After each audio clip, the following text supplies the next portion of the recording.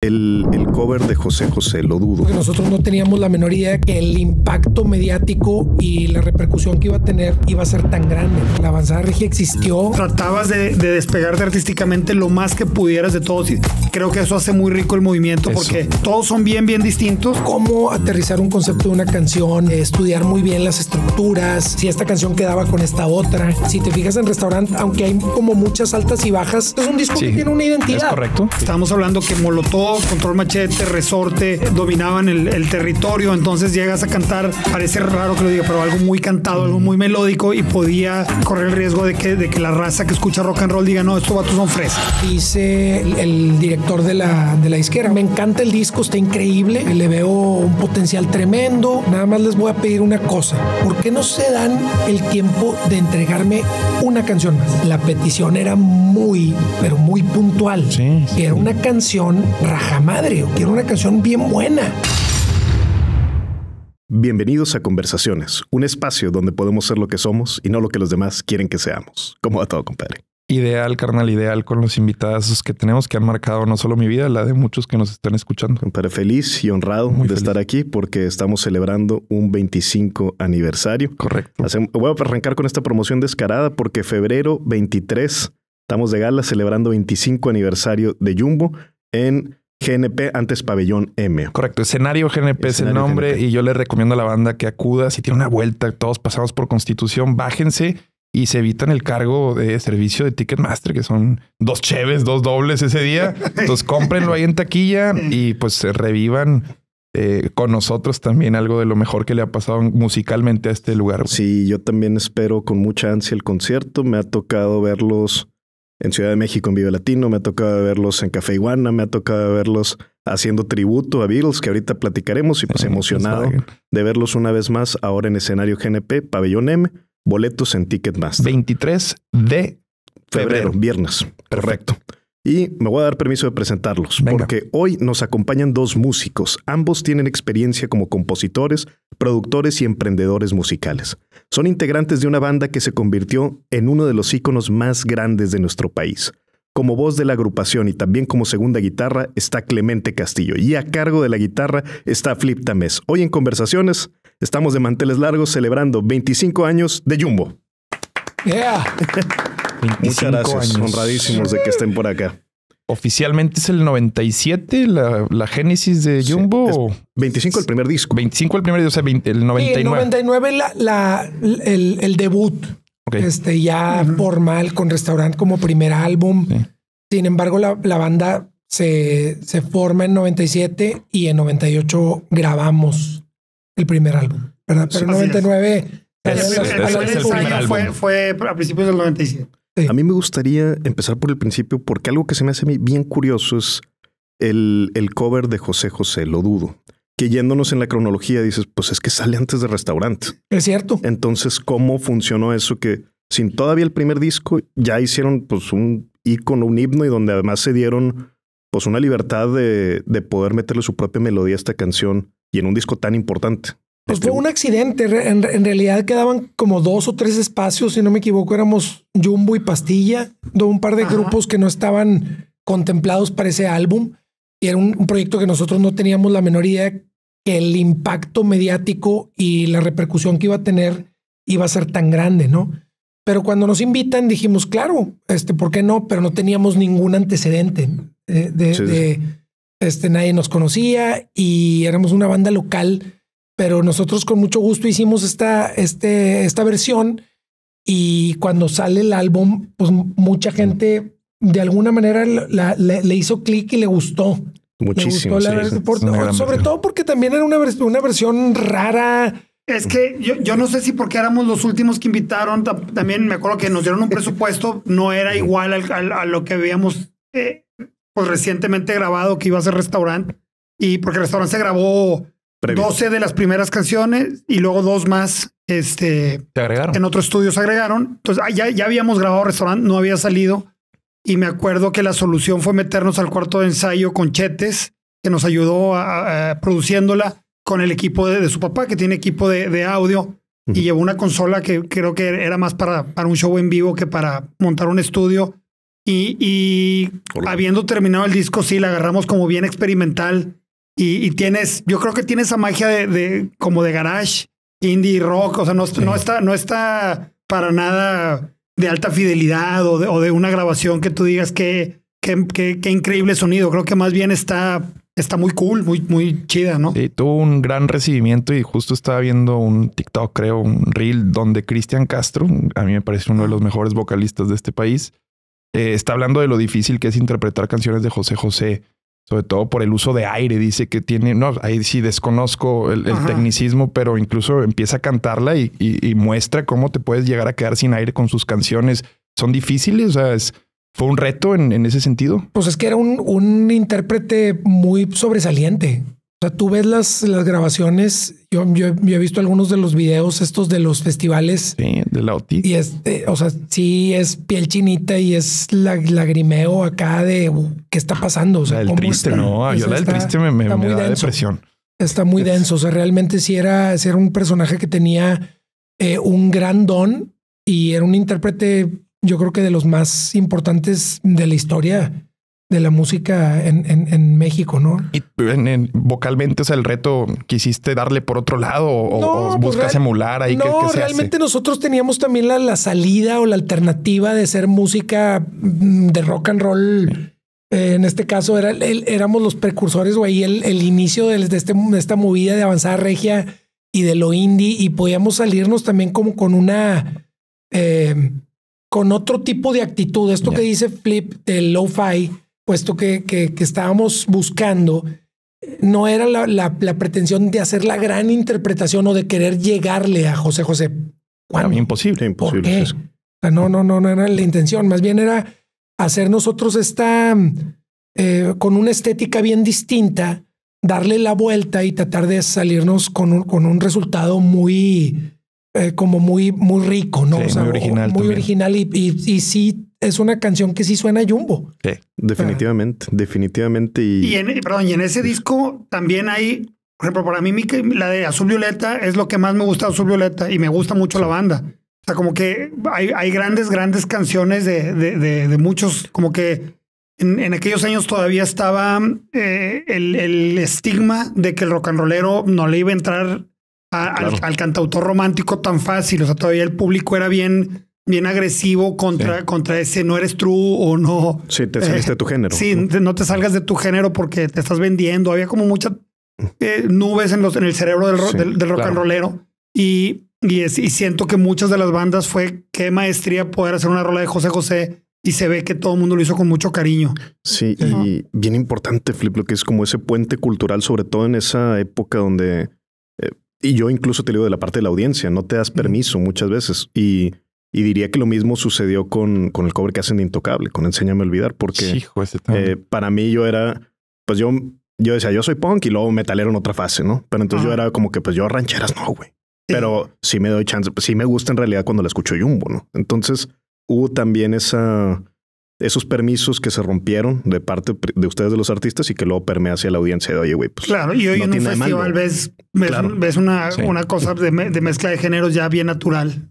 Pero en ese momento sí era, era, eran pues barreras que se tenían que ir tumbando. ¿Y cómo hacen, hacen ustedes la selección de la canción? ¿Son asignadas a ustedes? ¿Cómo funciona esto? Y también preguntarles la reacción de los intérpretes eh, originales, digamos, uh -huh. ¿verdad? Pues sí, nos, hubo... nos, da, nos, daban una lista o comúnmente era, llegaba una lista de las canciones que estaban eh, todavía disponibles. Uh -huh. En el caso de Intocable hubo más como un contacto directo con ellos al uh -huh. haber como una cierta afinidad de parte de la banda de querer a Jumbo en ese disco. El, el este, en el caso de Enséñame a olvidar, este, pues es, es, una canción que nosotros dijimos, esto creo que quedaría si le damos una adaptación eh, por aquí con este BPM, con, con, con, una, con un sonido que se pueda acercar más a esta cadencia donde, donde nosotros la, la, la podamos transformar por completo, pero respetar también una parte, ¿no? Entonces, eh, han sido situaciones medio atropelladas. En el caso de José José quedaban bien poquitas canciones. Creo que no, no, no teníamos no, más esa que... no estaba en la lista. Yo, yo, yo me no, acuerdo que tampoco nosotros a ver, no somos o no éramos en ese, en ese momento los grandes fans que teníamos José, toda claro. la discografía también. Diríamos mentiras y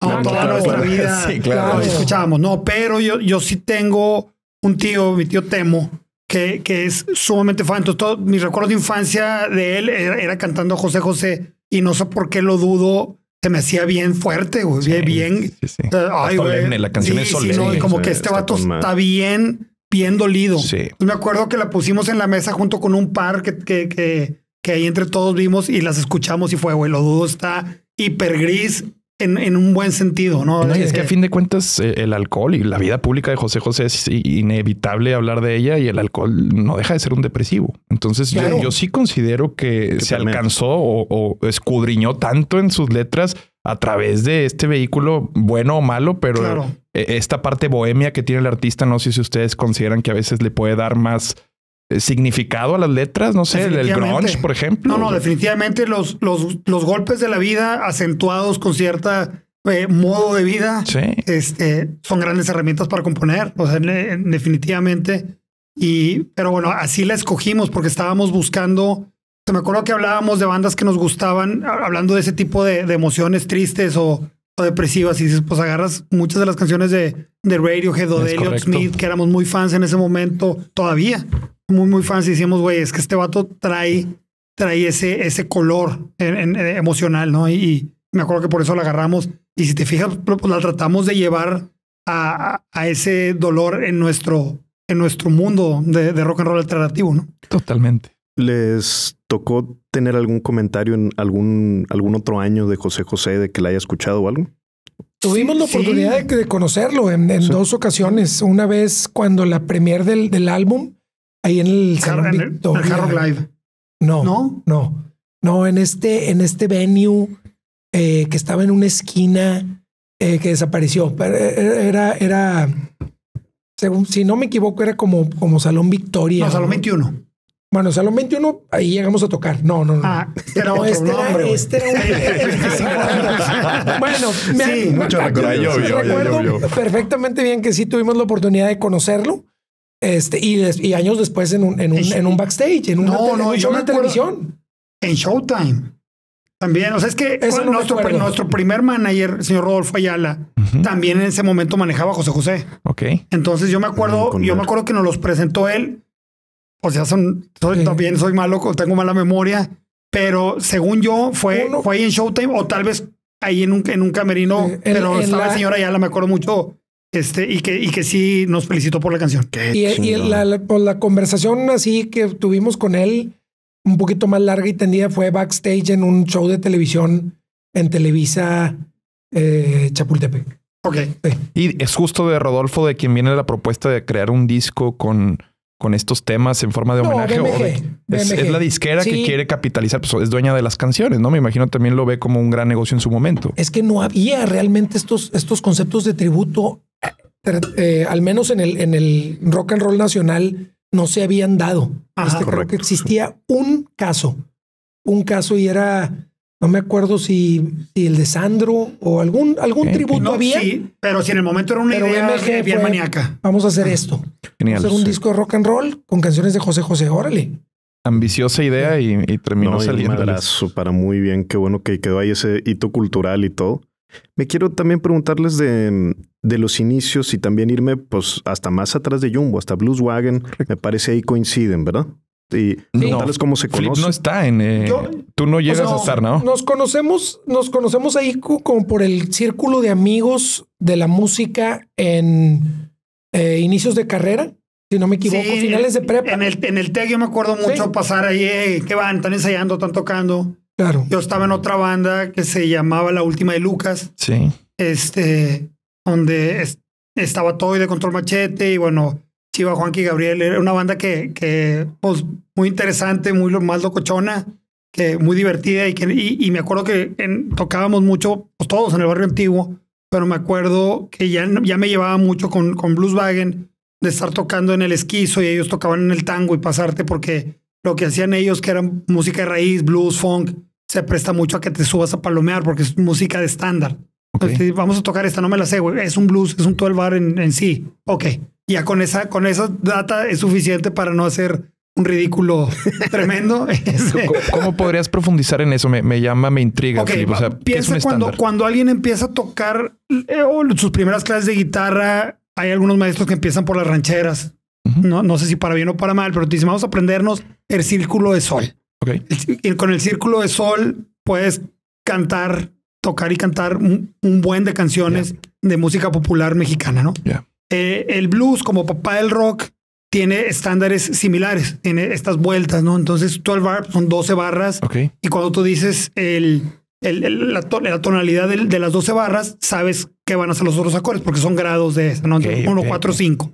Parece más complicado lo que haces, es muy fácil. Ya. Entonces, eh, mucho del rock blues o el blues tradicional o el funk eh, el Son esas fórmulas. Son esas fórmulas. Ya. Como la tiene, por ejemplo, ahora el reggaetón que tiene una base que es constante, ¿no? O sea, sí, el reggaetón lo- tiene un si estándar vas- rítmico. Es- esto es Ah. más armónico. Ya. Este, entonces, si te dices, ¿cuál, cuál le van a tocar? No sé. Y, y te puedes ir, te puedes ir muy, muy atrás. Si Robert Johnson, los primeros grabaciones de blues, te puedes venir a Prince y decir, este, vamos a tocar Kiss. No me la sé. E- Es un blues, nomás se alarga mucho el uno y está en güey. La tocamos en mi. Y con eso basta para que en la borrachera te la pases muy Entre bien. músicos. Entonces, el mi. a, a mí me gustaba mucho caerle a Blues Baden porque eh, Ah, estaba, estaba la rana en la guitarra, Javier Otón en un momento. Ok. A Eddie Evox los conocía de infancia incluso. Este, y era, eh, trépate, trépate. Y, y hacías una rola. Como puedes agarrar una rola de Elvis o puedes agarrar este, cualquier blues clásico, Black Rose o Stevie Ray Vaughan o lo que sea. Y, y sin haber ensayado, es una música que se presta mucho para trepar amigos. Y partiendo de esto, por ejemplo, de, de esta forma de improvisar, si se le puede llamar así, eh, ya después en el proceso creativo de Jumbo, ¿esto les ayuda mucho a hacer las canciones que, Sí, que a la postre conocemos? sí, por, por- o sea, en, en gran medida todos los aprendizajes de la forma para aterrizar un, un- un concepto de una canción y, y después una colección de canciones que se convirtieran en un disco, que tuvieran una identidad que nos ayudara a nosotros también ser eh, críticos porque no había ninguna referencia previa. Eh, Flippy sí había editado con la última eh, un álbum. eh, obviamente, pues lo- lo- lo- la calidad de los demos que teníamos con Blues Wagon y con la última y las grabaciones, pues era muy inferior Sí, claro. a lo que nosotros estábamos aspirando y lo que realmente conseguimos con, con Chuy Flores, con, con los primeros discos de Jumbo. Este, en- entonces fue poner eh, muy en alto toda esta técnica de cómo aterrizar un concepto de una canción, eh, estudiar muy bien las estructuras, eh, la, la, y, y- y después también eh, ver si, si esta canción quedaba con esta otra. Ya. Y, y, y al final, pues si te, si te fijas en restaurante, aunque hay como muchas altas y bajas, es un disco que tiene una identidad. ¿Es correcto? Sí, Es un disco que tiene un tiene. sonido, ¿verdad? Y, y llegar ahí, pues todo este aprendizaje era Claro. Son tablitas que iban construyendo. importante. Sí. Incluso importante. Jumbo pues, pudiera ser, pudiera poder decir que es la quinta, sexta banda de cada uno de los integrantes. O sea, no, no es la Sí. banda de, de infancia y nos firmaron recién graduados, que, que para estándares tal vez de una banda de rock es, es ya grandes. Es entre comillas grande, Ajá. claro. Cierto es. Cierto. Y me gustaría, si se puede ahondar un poco en este proceso de composición, porque eh, me viene a la mente, y espero no estar poniendo palabras que, que no van, pero así lo recuerdo. Por ejemplo, Elías Medina, gran eh, compositor, autor, me decía que él empezaba con la melodía de las canciones. Y luego Jonás me decía, no, pues yo agarro o la guitarra o el bajo. Muchas veces, y del bajo es de donde viene la. He hablado con otros músicos y me decían, no, pues desde la letra, ¿no? Entonces, en el caso de Jumbo, ¿cuál es, digamos, esa idea más primera, por llamarle de alguna forma? ¿De dónde, como esta pulsión de la canción? Si es que tienen algún camino.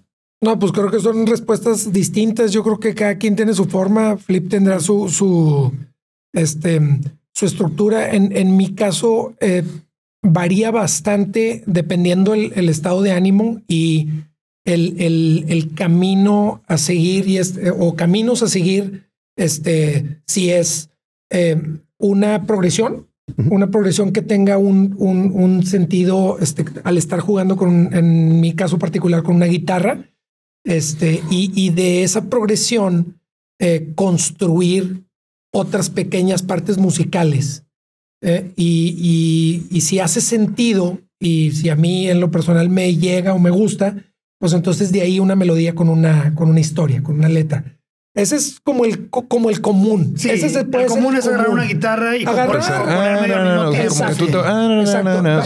sí viene un tarareo, ¿no? Viene, Sí. vienes, vienes a lo mejor con dos o tres acordes que, que, que están haciendo este, lo que mencionaba Flippy, de un círculo, este, o una progresión natural, en donde combinas este fa sostenido menor con un este sí, y, y el sí tiene esta variación, y de ahí te puedes pasar a este otro ac- acorde que resuelve para finalmente regresar este, a uno de los acordes con los que empezaste para, para una resolución de un coro. Pero este, le das la vuelta y, y con una rítmica y con un eh, este con un tempo, con un, con un este, sí, con una cierta rítmica, eh, encuentras eh, primero este caminito de, de, la, de lo que está haciendo la música para después este, eh, tararear y encontrar una melodía que sea afín, que, que, que, que sea coherente y después pues una, una, una historia, una, le- una letra, ¿no? Yo también creo que, que fue variando por canción y fue variando por, por época de, de la banda, porque al principio, por ejemplo, me acuerdo perfecto cuando Castillo llegó con, con eh, los versos, las, la- el, el- el coro así con los acordes y nos metíamos al cuarto de ensayo sin nada más que tu instrumento, sin nada de tecnología. Es más, yo estoy eh, convencido que hubo canciones muy buenas que nos íbamos de gira, regresábamos y ya nos, nos habían olvidado. Este, porque no las podías, no las, no tenías esas, esas herramientas. Oh, Y luego las pero- herramientas nos hicieron también abusar de las herramientas. O sea, hoy lo veo. El de pronto ya tengo, ya tengo computadora en la casa, ya no nada más me limito yo a, a vestir eh, desde mi trinchera de guitarrista. Entonces ahora ya me vuelvo loco y hago arreglos de cuerdas y todas las armonías que puedo estar grabando una después de la otra. Entonces yo ya llego con una idea de la banda rígida en la cual tal vez ahora soy más celoso de que me le muevan. Ok. Y luego vences esa etapa y dices, güey, vámonos a un rancho con, con un- unos tintorros y, con una guitarra acústica en la mano cada quien, como le hacíamos antes, pero luego usas la herramienta a tu favor. Y, y la tecnología también ha, ha- venido a ayudar mucho, pero también por momentos me acuerdo de decir, güey, que nos está separando un chorro. Y eh, mutila creatividad a veces. ¿no? A veces también. Entonces, sí, volviendo a, la- a a los elementos, creo que, que, pueden hacer antes o después, pero definitivamente estás bien enfocado en que la canción tenga una, una muy buena cámara armónica, una, la mejor melodía posible y que la letra sea también muy coherente a eso. Porque también dices, no, yo siempre empiezo tarareando, pero me acuerdo que viajábamos con una libretita y estás leyendo, viendo una película y de repente Sí, esa- sí, sí, eso que claro, acabo de leer. Que no se te está- vaya la idea, sí, ¿no? Está Sí. brutal para luego. Sí, sí, sí. Y luego tienes una melodía con dos, tres acordes que se llevan bien y sacas la libretita donde vas apuntando ideas y ¡pah! todo empieza como, como a unir. Pero a veces eso sucede este, hacia la compu, pero siempre sí o sí hay una guitarra en la mano. Este, ¿Y estas, estos procesos son, le, le llamarían artísticos o es eh, lo necesito y me siento hacerlo? ¿O era de estoy dormido y de pronto he escuchado artistas que sueñan con el tema y se levantan a escribirlo? En este, en este proceso era más, eh, aunque no tengo ganas, me siento y hago que brote. ¿O funcionas más en tu caso que ha sido, o Flip, eh, con el tema de espasmos creativos en donde, ajá, buena idea, la bajo? No, no, es- estos primeros años de, de, de Jumbo y, y en gran parte de la carrera son estas em, em, como la, la, la idea muy clara de estar este, activamente ensayando, activamente componiendo, activamente eh, trayendo ideas a la mesa, porque creo que la, la creatividad, eh, sí hay puntos donde estás sensible o vulnerable y pueden salir cosas increíbles, pero luego en, en días donde no necesariamente hay, hay esta magia, también puedes encontrar algo que te puede servir un poquito más Claro. adelante. Entonces, cre- creo que nos, o sea, nos clavamos demasiado como banda, sobre todo en, en una etapa inicial de los primeros ocho años, cuando la alineación con los hermanos González, donde era nuestro día a día. O sea, todos los días estábamos realmente pensando Una pasión también por el proyecto. Pensando en, en- en Jumbo y, y cómo el siguiente disco y el siguiente sencillo y el viaje y el, el, el- el merchandising para el tour y esto. O sea, realmente eh, sí, mucho tiempo no la, no la hemos pasado este, eh, enfocados en ver cómo esta parte creativa puede salir a, a- a florecer para aterrizar una actividad particular, ¿no? O sea, si ahorita hablamos Perfecto. del 2024 y tenemos, este, o estamos platicando Flip y yo, oye, pues, ¿por qué no eh, pronto nos vamos a un viaje, ¿no? Que está eh, viendo Flippy la, la gestión de, un, de una pequeña residencia en un en Baja California Sur. Y bueno, pues hay una oportunidad ahí Genial. para juntarnos y componer y aterrizar algo muy, muy especial que pueda ser como el, el inicio de, de nueva música para el Claro, grupo. claro. Pero, pero también ahí eh, lo que dices, cómo sucede, yo creo que es constante. O sea, todo el tiempo, aunque no hay un disco en puerta, aunque en pandemia, por ejemplo, que no sabes qué va a pasar, creo que es compones porque compones. Sí. Y si no compones Claro. ese día, ese día le haces arreglo a lo que compusiste la semana pasada. Y si ya le hiciste arreglo, pues lo prendes la compu y lo grabas. Y si no lo grabas, aprendes a usar un plugin nuevo, practicas un instrumento que tocas muy mal. O sea, como que sí, se vuelve un oficio constante. Este, y cuando, cuando te suceden esos momentos de inspiración o, o se abre una, una, una fibra que hace, que hace clic, este, una canción, pues la mayoría de las veces te, te agarra este, activo. Inspirado, como Sí, dijo sí. Marchanda ayer- el, el capítulo pasado, ¿no? Como Totalmente. Picasso decía que las musas te encuentren inspirado. Te ¿no? encuentran trabajando. ¿no? Trabajando, sí, Trabajando. Correcto, no inspirado, trabajando. Correcto. Me gustaría preguntarles. Es bien cabrón eh, escoger una canción en particular. Tienen muchas canciones que tienen pues el estatus que yo le pondría así como de himno, que al menos a- Ah. sé que a varias generaciones, como ahorita dice, te toca fibra. Muchas de las canciones. Una en especial que, que quiero mencionar es fotografía. Tienen ahí en el video, no, no sé si esa la dirección estuvo a cargo de Fernando Aim, que me Sí. parece que Ah. sí. Y pues la aparición de Saúl Hernández de Caifanes por ahí en el video. Y sobre todo preguntarles en especial así lo casi casi lo que me quieran contar de la canción, pero sobre el cómo cu- cuál es el concepto que traen a la mesa, qué significa para ustedes, alguna historia que tengan de esta canción en particular, si la pudieran compartir. Pues eh, es una de las canciones más importantes de la, de la carrera, sin duda, y es una canción que, eh, que nosotros ni siquiera en, en un principio creo que no ni siquiera la veíamos como el, el gran sencillo o, el, o, el- o la gran canción. Este la co- siempre la consideramos importante, pero, pero en un momento, obviamente, la disquera también entendió que era una canción que era, que era importante y que tenía que eh, promocionarse. Y cuando se empata con el video, pues todo hace un clic Eureka. eh, sí, sí. muy ya, ya la, la, la, la lleva a una dimensión muy distinta, ¿no? Entonces, en la en los shows de Jumbo y, en, y a lo largo de nuestra carrera ha sido una canción que nos, nos ha servido para muchas cosas.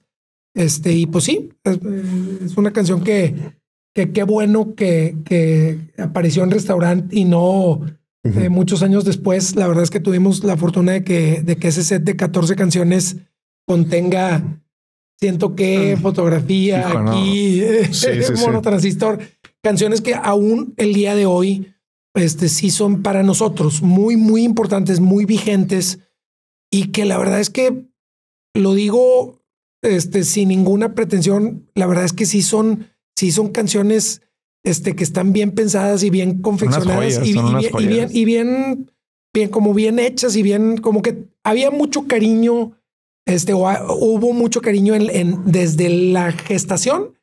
hasta el momento Sí. en el que ya se les dio, se le dio así el, el- Hay un pedacito de ustedes. Como artistas hay, hay un pedazo Sí, de y yo ustedes. me acuerdo que, o sea, lo que dices es que nos clavábamos un chorro, además nos retábamos un chorro, es, o sea, esta parte no está, güey, es una nota, es un feed, es, un, es una cola de un delay, o sea, como que nos, nos, nos poníamos mucho gorro mutuamente para bien a que todo estuviera lo mejor posible y no, no pretendías que una canción le fuera mejor que a otra, o sea, nosotros no podíamos ver cuáles del Claro. disco iban a ser sencillos, incluso la disquera Decía, déjenos a nosotros, nosotros, nosotros podemos ver eso porque eso nos dedicamos a vender música. Y lo tomábamos nosotros un poco medio hasta mal de que, güey. ¿Cómo me vas a decir ¿Cómo a mí? vas a decir a mí? Es Por la es que sí. O sea, Es mi disco. mi hijo, cabrón. Pero tú no no puedes- el nombre tú, güey. Pero si tú tienes 10 hijos, no puedes decir cuál es tu favorito. No, total. El, el, el coach de soccer sí. Sí. El coach de fútbol te dice, oye, el cuarto de tus 10 hijos, ese, ese vato sí puede Ese ser futbolista bueno. profesional. Eso es una Entonces, gran reflexión. ¿eh? Sí, entonces, Sí. el- pues si soltamos un poco la disquera, fue escogiendo los sencillos y para una sorpresa increíble, fotografía cumple un propósito que nos pusimos al iniciar la banda cuando estábamos regresando, cuando hablábamos de estilos. Pues yo me acuerdo integrarme junto con, con Vox, que vivía en Playa del Carmen, que llegamos y, y, pues había un bagaje de, de- de rock and roll clásico increíble que pocas bandas hacían. y, y, se ponía en la mesa, ¿hacemos rock alternativo o está esta otra parte de hacer rock clásico, medio funk, medio Rolling Stones, que, que lo traen como, como, como poca gente, ¿no? Este y, y cuando lo planteamos hacia, hacia rock alternativo, las canciones van mutando hacia allá y son como puras este, Y en la carrera, ¿no? Que si, si me hubiera ido por, me ido por la izquierda, ¿qué hubiera pasado? Me acuerdo que le abrimos antes de sacar el disco a Ratones Paranoicos en el tango y era como un show de, de, classic rock. Este, y, se pudo haber ido por otro lado muy fácil el asunto. Y este, y nada, para, para, para bien que, que, que ese objetivo de poner canciones que pasaran el género y que pasaran la barrera del tiempo, pues 25 años después están, están preguntándonos por, por una de las primeras canciones que compusimos como banda. Y luego también de ir cambiando de disco a disco, que era un reto que nosotros nos poníamos, que era muy intencional y que era un riesgo.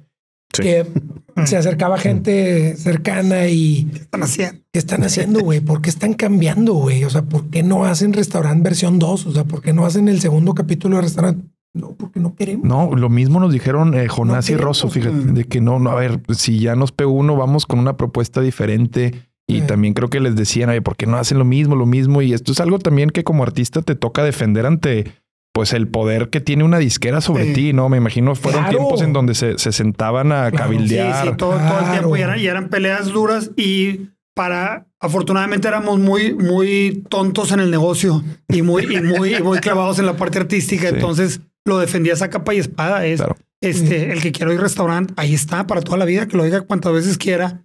Ahora vamos a hacer de poner play, o ahora, peor aún, el, uno de los más oscuros, el tercero, que es Teleparque. Es una joya. muy a propósito dijimos, vamos a hacer estructuras raras, vamos a hacer tempos diferentes. Este, hay una canción ahí que se llama Se Derrumba, que era, que tenía este, pues un este, seis octavos o tres cuartos, como lo quieras contar, similar a fotografía. Y me acuerdo que, que Kike decía, güey, eso ya está en fotografía, vamos a buscarle un, un pulso y tiene un pulso bien bizarro esa, canción, pero muy a propósito. Y entonces, si, si lo vieras como, como hombre de negocios de la música, no como artista, dirías, estás haciendo hacer lo contrario de, de, lo que hiciste cuando te fue bien. Es bastante ilógico, pero como artista es bien necesario, y bien importante. Y que también muchas bandas y muchos artistas se quedan cuando encuentran esa fórmula, se quedan y, siguen construyendo y creciendo y es bien válido y es, es, también, es también inteligente, es muy inteligente. No pasa nada, no pasa Pero nada. nosotros por, por tercos y por eh, también por, esta sed de, de, querer descubrir otros territorios y querer retarnos a, a hacer otras cosas, pues nos fuimos por otro lado, ¿verdad? Pero este, pero también, pues es, es, es, es, es muy, el artista. Es muy rico verlo. No, hombre, está bien para el catálogo completo. Es, es, es, muy, muy Sí, pues hay una diferencia entre ser un producto y un artista. Ustedes y los dos son válidos, ¿eh? Los dos ponen pan en la mesa a distintos tiempos, tal vez, pero los dos son trabajos muy loables. Pero creo que como producto es cuando tú le das las llaves de tu concepto al manager y le dices, eh, haz lo que sabes hacer y yo también voy a ejecutar. En este caso, creo que la parte artística también tiende a ser testaruda, en donde eh, esto viene de mí, por eso es mi arte. Claro. sí. qué bueno que lo defendieron por, por, el bien de los fans también. Claro, y la curiosidad en el ámbito musical, en este caso, pero la curiosidad creativa que yo creo que es de lo más valioso que puede tener cualquier artista en cualquier disciplina. Me gustaría preguntarles también, ahorita mencionaste Castillo, la avanzada regia, y es un tema recurrente. Hemos tenido aquí a varios protagonistas de este movimiento y es muy controversial siempre que tocamos el tema. O sea, desde Tony del Gran diciéndonos la avanzada es puro pedo, hasta luego que sí exista el como este orgullo también de la avanzada regia.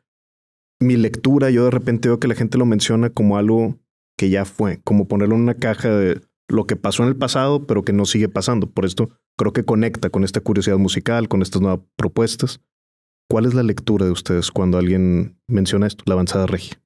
Sí, eh, para Tony, mí. Tony, pero Tony dice eso porque tenemos tenemos la regla de no hablar, pero nos sentamos todos los. no, es como el club de la pelea. Es el club de la pelea. No, bien, viéndolo de una manera bien objetiva y bien imparcial, la, avanzada regia existió. Este es un movimiento que se da que un periodista de la Ciudad de México eh, lo bautiza como la avanzada regia y, y que es el, el reflejo de estos años entre el 95 y el 2000, este quiero así nada más como un ballpark, este donde empiezan a firmar donde aparecen y empiezan a firmar al Gran Silencio, a, a Control Machete, a Plastilina, a Jumbo, a Zurdoc, a, La flor. a La División. Flor, a- y luego un poquito más adelante a Bolovana, Inspectora, a- a- Genitalica. a- a División, a Genitalica. Eso, eso viene tantito después, pero lo- Sí. la- esta, esta camada de las primeras bandas, eh, teníamos este circuito local del barrio antiguo y empezaba a ver en, a- en aquellos años lo que era otro Machaca Fest. O sea, era, era este con, con el con el símbolo de la tía Lencha, como este el, La de la, carne, la, Renato. la de la carne seca. Exacto. Ok, ok.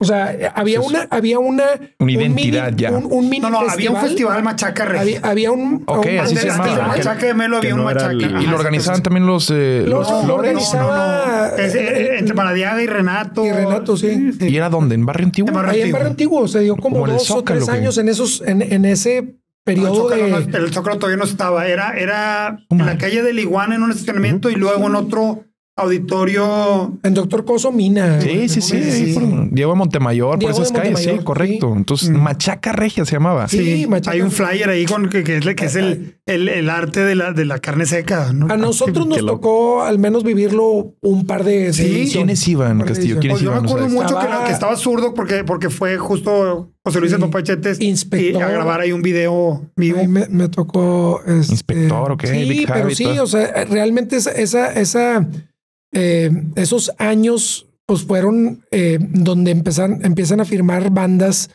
eh, todas estas disqueras como Manicomio, que era parte de Polygram, EMI, BMG, que era la división de Culebra, que luego a nosotros nos pasaron a, a BMG al ver el resultado del restaurante. Dije, no, pues no, no va con el subsello, mejor lo subimos a, Ah, que, a que estén en, en, en BMG. Este, ¿quién más? Warner y, y Uni. Bueno, a Kinky los firmaron en Inglaterra, no sé dónde. Ah, Sí, bueno, sí, Kinky, sí, sí. exacto. exacto. Sí, pero, pero bueno, la- las disqueras transnacionales de, del- de la que estaban todos basados en la Ciudad de México empezaron a voltear a, a firmar a todas estas bandas. Y sí, para mí, pues es un.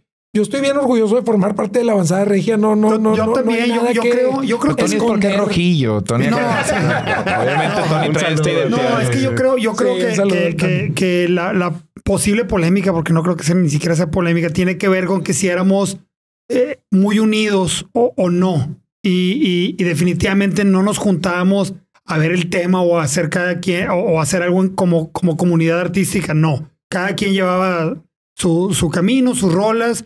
Eh, creo que, que para bien tratabas de, de despegarte artísticamente lo más que pudieras de todos. Y creo que eso hace muy rico el movimiento Eso, porque eso. no es un movimiento de hip hop, no es un, no es un movimiento de, de, de folclore rock. Todos son bien, bien distintos. Y, y creo que romantizar hoy en día de que ah, todos se llevaban bien, pues nos llevábamos bien, pero no había una mesa directiva donde Rosso se toma la palabra y ahora este, No, no era un clúster, güey. No, no, no, No era un cada quien traía su rollo. Secta, Pero también todos éramos público de todos. O sea, to- Sí, sí. hacer un movimiento que, que sí nos veías juntos, pero no revueltos, pero, pero tú ibas con tu, con tu flyer a repartirlo a la tocada del otro. O sea, yo me acuerdo, va, vamos a hacer los flyers del último Lucas y vamos a la tocada de, de- del Gran Silencio. Y es que compartimos en Alameda, porque luego en el esquizo van a estar los cuervos y ahí te daban el flyer. Ah, mira, va a estar, o sea, la tupaya y mente indígena acá. Y eran estos flyercitos eh, y eso te hacía ser público de todos. Entonces sí parece a la distancia de los años que todos éramos muy compas y puede alguien que diga, a ver, espérate, no era así. Sí. No, y- Pero- y, con el afán de, de- de apoyarnos, sí hubo un par, o sea, hubo viajes a la Ciudad de México. No, no, Nos hubo- hubo nos un fuimos machaca en regia en el un- un Metropolitan. machaca en el Metropolitan. Ok. Sí, do- todos. Ese Machaca Fest existió en el Metropolitan. Que la Sí, palabra machaca muy asociada a esta región. Sí, la sí, verdad. sí. sí, sí, sí. Pues qué Y también qué un- mamada. Pero yo también estoy orgulloso y, y no, no me. O sea, que un, que un eh, Ricardo Bravo, según yo, fue el que nos, Sí, el que claro. nos nombró así desde la Ciudad de México. Podemos discutir si está bonito o no el nombre, pero el que nos pongan un, un, un título a todos como un movimiento artístico de la ciudad, a mí, a mí también me llena de orgullo ser parte de esa generación. Qué chingón. Y- Y, Funciona nada más como para poner esa pieza. Si gana un concurso de bandas o, o le va muy bien a Zurdo que en un concurso Sí, de en bandas en Rocotitlán, ¿verdad? es. O sea, sí, ese también es como uno de los las chispazos que hace que empiecen a voltear acá. O sea, ya, ya era también un trabajo en donde No, se... te- no tengo claro si Machete ya estaba, ya estaba o fuera o, o a punto de salir, pero para mí el parteaguas es control machete. Control machete, ¿no? Sí. Una locura. Fermín. Sí, una locura. Una locura. Pato. Ca- casi en simultáneo control y, y el, y, y la firma de Plastilina y el Gran. O sea, eh, Sí. ahí estaban Sí. Manicomio, este, que, en- que en este caso firma a Control Machete, y Camilo Lara o la- eh, con la EMI, este, que firma Plastilina. Y al gran. Pero bueno, el Gran creo que lo firmó, no sé si Humberto alguien Ah, más bueno, de- pero la misma de, de la EMI. sí. ajá. Yeah. Este, pero bueno, sí, Sí. sucede. Eso es lo- ese, ese es el punto de partida. Y a raíz de, de, de, de ese, de esas firmas, empiezan a venir a, a Ciudad de Mon- a, a Monterrey a ver bandas. Claro. Como es Este, que este escauteo Sí, empieza, si tú el patio, el patio de la iguana, va a sonar como una leyenda padre, pero si tú ves el patio, pues eh, ahorita está ya muy, pues muy armado de cemento, pero una tarima y las escaleras eh, de este lado donde te podías sentar o la raza a veces echaba el brinco al mosh. Llegas a arriba y se había como un, pues es como un palquito. Ahí ponían las mesas y venía alguien de una disquera y yo me acuerdo que A nosotros ahí nos fueron, o sea, vinieron a ver un, un show de Jumbo antes de que se llamara Jumbo, siendo Blueswagen, presentando varias de las canciones de, de Sí, restaurante. Eh, Específicamente para que lo, lo viera este Chiquis Amaro de, de BMG. Una para que presentación. dos semanas después nos dijera, les quiero ofrecer un contrato, o sea, los quiero firmar. Sí, O sea, pero chulada. en marzo o abril del 97. no, hombre, eh, Sí. Ni de chiste. Me acuerdo cuando me hablaste de Bueno. la chamba, güey. Yo, estaba- yo, yo me había graduado, estaba chambeando de corbata y, y me acuerdo muy, ¿Todos? muy, muy- sí, todos, me acuerdo muy, muy alterada la llamada. Güey, ya me habló la chiquis que le gusta un chorro, nos va a firmar. Renuncia, casi, casi renuncia ahorita. Y yo, espérate, espérate, güey, ¿cómo? cómo?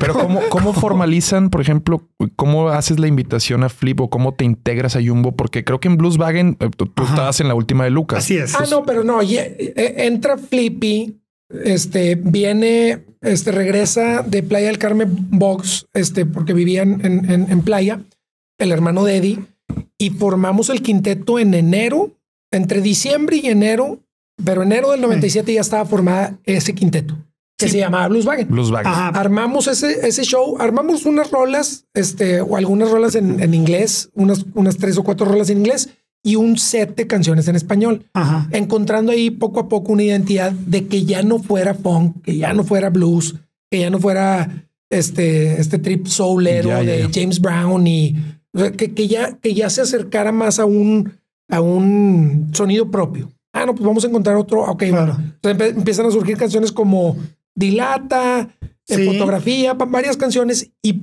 y armamos ese show en el tango. Y e invitamos a Chiquis Amaru y viene Ya. a vernos. Sí, Pero- pero, pero pasaron. Sí, pasó en, pasó en pocos meses. Me acuerdo que, bueno, Otón ya había salido y estaba la rana de guitarrista. Que No, se- no, pero no. Tú, tú ya estabas, tú ya estabas, Sí, pero yo- el, el guitarrista. Sí, pero yo, yo me acuerdo caerles, caerles Audiomaster que estaba la rana Eh, grabando eh, por irse a Boston. Eh, que- octubre, octubre o noviembre del 96. exactamente. Sí, Y como- que, y que estaba todavía en playa diciendo voy a Monterrey porque todavía estábamos con algunos otros bateristas empezando y, y, y dijo ya se va a regresar mi carnal a Monterrey y fue y como que desechamos todos esos, esas canciones que ya habíamos grabado con Blueswagen, las desechamos casi por Para completo. dar Se con lo quedó que ahora es Jumbo. una versión de una canción que se llama Tú me ves, que es la última de, de restaurante. Este, pero todas las demás eran como de- Inéditas. de- de- nuevas. Sí. Sí, sí, sí. Y el, el cambio de nombre a Jumbo, sí es verdad que el nombre viene de un bebé chino. De un niño con Sí. récord body shaming. con, con récord, con récord de pe- con récord de peso mundial, este, que, de- que era de, de estos este, periódicos eh, sensacionalistas. Y yo me había topado esa foto de este niño, Jumbo Jin Lee, eh, en un viaje, este, cuando, yo, cuando yo vivía este, años atrás, ¿no? Este, eh, en, la, en, en- en Nashville, Tennessee, y había hecho un viaje a una, eh, un pueblo universitario en Mississippi. A mí la- ahí me la había topado en, un- en una Sí, puerta de un curiosidad. refrigerador. Y la agarré, el, el recorte, y después me encontré ya el peri- otro periódico donde salía ya el artículo de Jumbo Jin Lee. Y ya lo usamos esta imagen en un, en un póster, en una foto, este, para como, como parte del, del, de la escenografía del, Mm. este, ahí en el tango, en los, en los shows que armábamos o en el Ah. esquizo. Eran nuestros visuales. Sí, sí, Eran sí, nuestros el niño con llantitas, tipo, El, o sea, el- un el gordito. niño gordito ahí. Pero Eddie este, le había puesto una pistolilla en la mano. es que Eddie. Eddie trabajaba en ese momento en el, el estudio de fotografía del norte. Entonces le imprimió bien grande y, la- y le modificó. Entonces está el niño, imagínate un bebé muy gordito, pero con cara de enojadillo, con una pistolita. Entonces era un visual padre. Lo Sí, visual claro, y, claro, y- claro. y nos dice Chiquis, des- después de haber visto el show, dice, me encanta la banda, los quiero firmar. Lo único que les voy a pedir es que le cambien el nombre. Pongan el nombre que quieran, pero no suena, o sea, ustedes no suenan a Volkswagen y aparte, pues, está bien raro una banda de Monterrey, o sea, una banda mexicana en aquel entonces, Sí. finales de los noventas, pues, ponerle un, un nombre en inglés a una banda era muy raro. Sí, güey. Entonces dijimos, ok, está bien, está bien, perfecto. Entonces ahí estuvimos peloteando nombres y nombres y nombres y de repente me acuerdo, eh, creo que era un domingo, regresando del, del, del esquizo de la tumba, de la tumba de uno de estos festivales que había organizado Manicomio. Ah. Sí. No, que ya ahora sí vamos a, defin- a definirlo el nombre y pues Jumbo Jin Lee, órale, no, pues Jumbo, jajaja, estábamos cagados de risa, obviamente, Ujú. Porque no era como que el nombre Más serio, más profundo del mundo. Exacto. No, pero, pero dijimos, está genial, pero, güey. Jumbo. Y en ese entonces los nombres significaban un chorro. Era, me llamo De mucho peso. la- las almas de antaño. porque, Sí, sí, sí. ah, O sea, había mu- Sí. tenía Sí, que tener como mística. Entonces era, pues le estamos poniendo Jumbo porque nos da risa la foto. Eh, Sí, o el es- personaje era como algo que había ya como marcado al- a, a Blueswagen en, su- en su en su pequeña este, tiempo de existir, ¿no? Y, y, y ya se quedó Jumbo. Jumbo. Jumbo, nunca pensaron en Jumbo Jin Lee, era Jumbo nada Era más. Jumbo. O y, sí. luego, y luego, unos años después, vimos otro reportaje y Jumbo era adjetivo. O sea, el vato se llama Jin Lee. Ah, era el que Jumbo, viene grande, Jumbo, güey. el, el De gran. El sea, no, pero no es Jumbo parte ni Bueno, Daniel quedó como que no era parte ni del apodo. Era, era, Era la el descripción título del de la- título. de la nota. Sí, sí. Chulada. No, hombre, Jumbo. con madre, con Y madre. vaya que son grandes, carnal. An- Antes de que se me vaya, ahorita mencionaron también la firma de Zurdo, todo esto. Por ahí leí que tuvieron una gira en conjunto, ¿es así? En Sí. México, Estados Unidos. Brutal. Eh, Odisea, 2000, 2002. 2002. Sí. ¿Dónde, Sí. dónde fue esta gira? O sea, Por todos lados, o sea, porque Salimos fue- de aquí de Monterrey. de aquí de Monterrey en un, en, por parte, en un autobús. Y realmente, Zurdo, eh, yo creo que es la banda más cercana a nivel a- amistad, porque mi, mi primer- musical. y musical también. O sea, veníamos Sí. al caso, mi, pri- mi primera chamba, no, mi primera banda, este, mi primera banda en secundaria sin saber tocar fue con, con, con David y con, y con Sainz de Zurdo. O sea, Con David Fletch. izquierdo y Sí, Fletch. sí. Este, ensayábamos aquí cerquita, en casa, en casa de, de, de Sainz. Sí. Eh, nos traíamos, nos traíamos los estéreos de las, Mm. de las casas, porque en, en los audífonos ahí conectados la guitarra y algo sonaba. O sea, muy, muy al principio nos sabíamos dos acordes y, y, fue pues los pininos de, de, de todos. Y luego ellos dos se fueron a hacer este año que te mandaban en aquel, en aquel entonces a estudiar inglés a otro lado. Y ahí yo ya me fui con otras bandas, una banda que se llamaba Fusca Sin Nopales, que luego se hizo la última de Lucas. Y cuando regresan estos güeyes de su de, de- de aprender inglés y otras mañas, este y vaya que sí. eh, eh, yo ya había conocido porque eran amigos de Chiva Chetes y A Mauricio. Chetes y Mauricio. Y entonces como que en la bola vi cómo se cómo se gestó ahí zurdo y ya eran amigos, aunque se llevan un buen de años, ya eran amigos de, de- de bolas distintas. Y, y, y luego ya con Jumbo, pues no te digo que Chetes produjo, lo dudo, y hicimos como buen clic todos. Entonces fue una gira muy divertida, me acuerdo muchas noches en el autobús que cuadritos en la panza de dolor de la risa Sí, todo el tiempo, digamos, muy divertida y, y creo que, que sí, pa- para mí puede ser la gira más divertida de los 25 años. Pues nos la pasamos brutal, llegamos hasta Los Ángeles, Mazatlán, o sea, por poner ahí no sé qué Sí, distancia. de, de- de este, punto a punto. No, y, y, y una, un, este, hicimos algunas fechas en, en Estados Unidos en esa. Sí, digo, Key Club, el Key Club El Club ajá, y- o sea, en LA. ¿Cómo funcionaba el show? O sea, a veces abrían ustedes, a veces sí, ellos. O sea, nos no había muchos egos. ¿verdad? No, hombre, Eran no, hombre, compas, no, dale tú. risa. Y ni, y ni te la creías mucho en aquellos principios de que estoy tocando en Los Ángeles. Ahorita por, por la anécdota puede llevar cierto glamour, ¿no? Que estamos Sí. en el boulevard, en el Key Club, tocando, no, hombre. O sea, era, era lo que tenían de serio las rolas, lo tenía de madriada fuera de la música. Era En modo guerrero, ¿verdad? Sí. Sí. Era en modo, y Sí. comían que in and out y la chingada. Lo, pura- que cayera, cayera, sí, güey. lo que cayera realmente. No, no había esa eh, eh, esta eh, idea de ir en un plan, como dice Flip, de glamour. O sea, realmente estábamos ya ahí. Ya habíamos llegado a California, o sea, ya estábamos tocando y estaba ahí anunciado Jumbo y Sordo. Eh, ya era, era, era suficiente para Qué nosotros. chula, al verse ahí en a distancia. Sí, no, y la verdad es que nos, no- nos pasamos muy buenos. Después vienen unas giras con Jaguares que nos invita Saúl Chica. este, para hacer revolución, inclusive el segundo revolución con No, fueron- Morrissey. Sí, fueron dos Son años. unas fechas en- importantes en eh, eh, Jaguares y Morrissey. Y ya nada más veníamos nosotros y Julieta, no, ya Julieta. El, ya el no. primero era, era con Julieta Gusana, Lisa Gusana Flores. Ciega, Lisa Uh, Flores. Que, que, que Jaguares nos invitaba y hacía como su show con todos estos abridores, pero lo, lo, lo hacían como festival por todas las ciudades. Y esas giras sí eran muy en forma porque, digo, además de ser una banda de las más grandes eh, de Latinoamérica, el público mexicoamericano los adora, Sí. y siempre los ha adorado de una manera bien impresionante. Y, y, y para nosotros también fue un parteaguas de aquel mercado bien grande que Saúl nos, nos, nos invitara y fueron dos Claro. años seguidos, dos Tour Revolución y este, y uno con Morrissey. Sí. No, y deja tú, empiezan a hacer unas tablas también en escenario bien valiosas, ¿no? Porque Sí. también multiplicas el número de audiencia o, o- o cómo eran diferentes los shows con, con un Jaguares que, a ver, a veces hasta estadios, gigantes. arenas muy grandes, Shows claro. bien grandes. ¿Y ustedes disfrutaban más, por ejemplo, esta, este aparador o, o les gustaba más la fidelidad de un escenario en donde tal vez no, no hubiera Son- tantas complicaciones? Son distintos las, las experiencias porque el, el- el escenario grande te, te- a mí en lo personal me pone un poco más nervioso que algo salga mal porque hay menos, se ve menos cool ahí la reacción de estar cambiando un cable o cambiando una cuerda rota.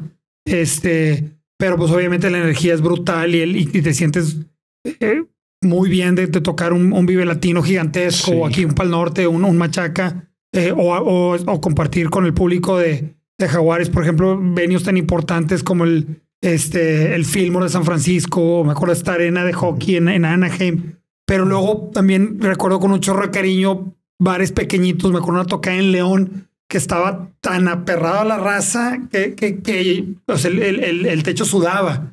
Entonces me acuerdo No todos y mames. cada uno de los que estábamos ahí estábamos completamente sudados de pies a cabeza y te sientes como en video de Lenny Kravitz tocando Sí. con el pelo así, este, Qué chingado. que dices, eso es rock and roll. Eso es rock and roll, güey. eso es lo que va la banda. Y entonces, pues sí, el festivalón está gigante, pero tal vez en ese lugar que era pequeño, a- a- a- no sé, soy malo para calcular, tal vez éramos, no sé, 350 personas, tal vez éramos 600, no sé, Mm. pero el vibe, el de estar ahí sudando No. con la raza aparte que ya no cabía, que se te subían dos, tres güey ahí en el escenario, Qué también es chingón. bien valioso. Qué sí. chingón, qué chingón. Sí, me recordaste, Flip, también en una vez que tocaron aquí en estos festivales que hacían el tech de Ajá. que era de mucha comida mucho y que tocaron Expotec. ahí en Expotec empezó a llover de a madres y que se salieron a mojarse. No sé si, si recuerdan, Sí, sí, sí. pero fue algo muy, pues muy icónico para, para esas, para esa audiencia, ¿verdad? Que estaba ahí, que lo cuentan muchísimo, mis amigos que Pues les es que si tú te, vas te vas y te, cu- y te cubres de la lluvia, pues ¿qué le estás diciendo a la raza que Nah, está ahí rockeando? Tú tienes Sí, que sí, sí. transmitir desde Sí. ahí.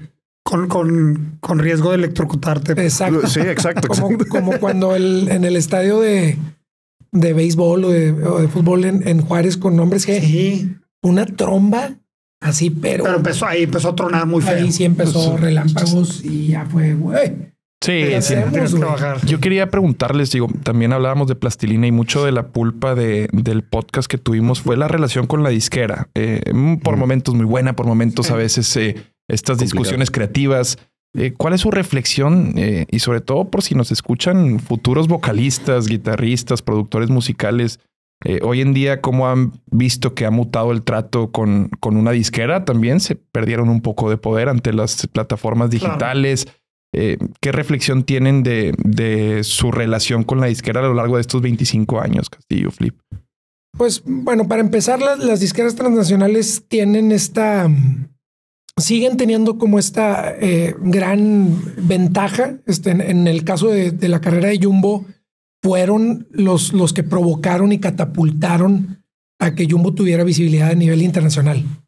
Punto. Cierto. O sea, No, no fue por méritos de que nosotros hayamos hecho una llamada con, o sea, realmente la disquera fue quien provocó Y no, que, lo- que no los videos negociado la chamba sin la firma de la disquera. que el- Sí. que- exacto, que, que los videos existieran y que estuvieran en MTV y que estuvieran en Telehit y que la banda tuviera tour support para que se pudiera ir en estos viajes con pastilla por todo el país o con Zurdo a la Odisea o con Jaguares a Revolución en Estados Unidos. Realmente eh, apreciamos y, y, y, y, nos da, eh, creo que, que, estamos muy, muy agradecidos de que, de que BMG, RCA y después Sony, porque Sony compra a BMG, este, nos hayan apoyado tanto. Fue también una terquedad nuestra en, a nivel artístico de querer cambiar y querer hacernos, eh, como siempre, retarnos a estar cambiando, que provocó que a lo mejor ellos dijeran, a lo mejor ustedes no son de, de, de, una disquera transnacional, o sea, a lo mejor ustedes son una banda de culto que quiere irse por un lado un poquito más experimental, denle. Ya, y, esa confianza también. Y nosotros, y nosotros no lo entendíamos en ese entonces. Nosotros queríamos, ah, si nosotros como banda nos retamos a ser más y más eh, originales y auténticos y raros y distintos, pues eso a lo mejor va a provocar que la gente si nosotros lo hacíamos para que nos fuera para, mejor. Para, ¿no? que, nos fuera, mejor. Sí, no era por sentirse únicos y no, etéreos. No, no, no. Para era, que nos fuera era, mejor. Para que venía de un buen lugar. Eso. Para que la sí. gente creyera en que, ah, estos güeyes no son nosotros- una repetición de lo que Nosotros veíamos el, el brinco de, de, de OK Computer, aquí Day, y decimos, o sea, era un, momento, era un momento en la música donde, donde la evolución artística de los actos que nosotros escuchábamos era, era muy apreciado por la audiencia mainstream, no, Claro. no por nichos escondidos para gente conocedora. Era lo que veías en MTV. güey. Sí, claro, claro, claro. Es lo que decías hace, eh, eso es lo que también la audiencia decía, eh, son true, ¿no? O sea, Ajá. o sea, como que también son fieles a lo que, a lo que los mueve y a que los puso aquí. Y yo sí me acuerdo del cliché eh, de, de que la disquera no les mueva, decía que no, que no los hagan comerciales, que la disquera a nosotros nos tocó a toda madre, güey.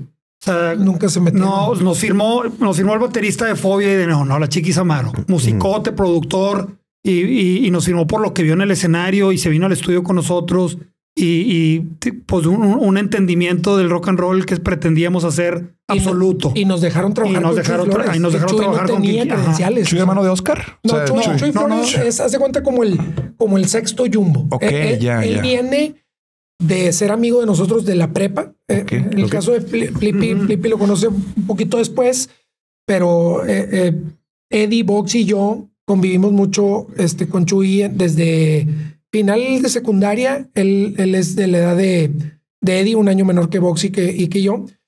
Y se une al equipo desde la parte de producción, porque pues él, él ya era un ingeniero que había primero estado en una escuela en Ohio, después estudió en Berkeley, la escuela de música, como productor musical, y nos dice, oye, yo, yo pues ven, o sea, yo estoy haciendo con ustedes estos, estas grabaciones de, de Blueswagen, que eran unos, una, una producción muy formal ya, muy pro, y nosotros decimos, pues, produ- o sea, el güey. productor de, de, de restaurante. Entonces ahí nos dan chance de hacer esto. Perdón que te Sí, no, no, no. Y imagínate que una disquera que, que te va a meter todo ese presupuesto y todo ese músculo. Tienes eh, cinco morros diciendo, tengo un compa que produce, Sí, que ha hecho nada. es muy bueno, pero es un compa. Pero bueno, escucharon los, la preproducción. Bueno, sí que está brutal. Escucharon la preproducción y dijeron, Sí, trae. No, no, Chuy es una bestia. Háblale a su compa. sí.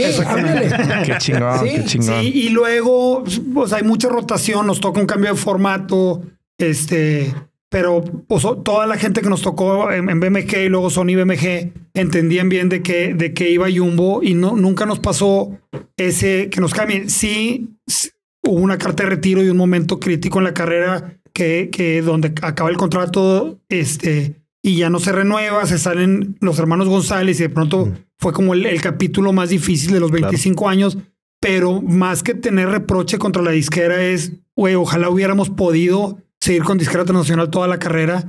Ya cuando regresamos con manual de, de viaje a un lugar lejano con el acústico, ahora con Universal, las reglas del juego de la industria habían cambiado mucho Sí. habían cambiado muchísimo a un grado y nosotros llevábamos tantos años en la, en, en la independencia que ya no nos ha- hacía tanto sentido.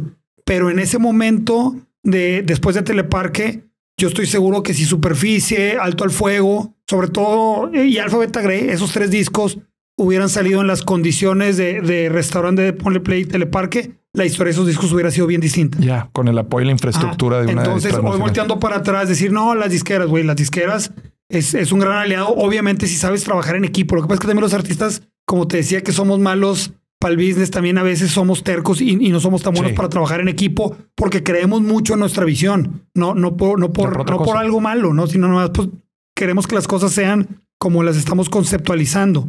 Entonces, a veces esa otra parte de alguien que tiene que proteger una inversión. Imagínate que tú eres el, el- el encargado de decir, yo le metí la este güey va a hacer unas rolas y aquí tú le vas a dar esta lana, pero tú eres el encargado de que esa lana nos dé a nosotros este frutos. ¿no? Entonces tú llegas al estudio y este vato está, voy a, voy a hacer una oda de 18 minutos a tal y tú, o- tu preocupación es bien genuina, güey. Tiene, No, que, ya, ya. tiene que regresar. Tiene que Entonces, el- creo que el, el- el mejor escenario es cuando todas las partes eh, pueden trabajar y hacer un equipo y cada quien dedicarse a lo suyo con la confianza que, es, que cada quien sabe la responsabilidad del otro vato, ¿no? Pero escogían, por ejemplo, ustedes su sencillo. Era una época también en donde se manejaba mucho el sencillo. Sí. Eh, ¿Ustedes escogían o, o él le tocaba a ellos? Eh, Era, era como en conjunto, era también muy, muy claro, era, Se era, eh, se platicaba y era bien evidente que había canciones que sobresalían y, y estábamos también abiertos a eso. O sea, Esta es mi carta fuerte en, eh, en este disco y Sí, como que tú le decías, estas tres son mis, eh, Sí, mis oh, pero- propuestas pero mira, para sencillo. Yo me acuerdo mucho los primeros sencillos. El primer sencillo fue Mono Transistor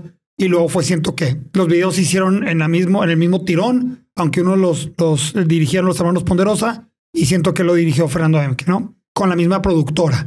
Eh, y me acuerdo mucho de la conversación porque en ese momento eh, siento que po- podía correr el riesgo de ser muy fresa. Estábamos hablando que Molotov, Control Machete, Resorte eh, dominaban el, el territorio, entonces llegas a cantar, mm, eh, parece raro que lo diga, pero algo muy cantado, algo muy melódico y podía, podías eh, correr el riesgo de que, de que la raza que escucha rock and roll diga, no, estos vatos son fresas.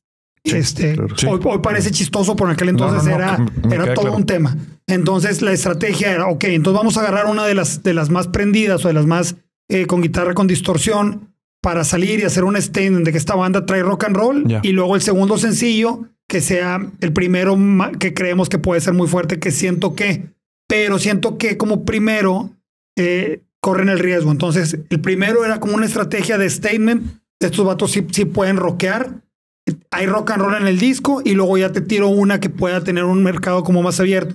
Y te lo decían de una manera tan convincente que decías, me hace mucho sentido. Sí, vamos a darle, vamos a hacer la- esa es la parte estratégica Ajá, también, sí, ¿no? Y esa qué valiosa también Sí, ese insight. y, y pasan los años y y siento que no existía.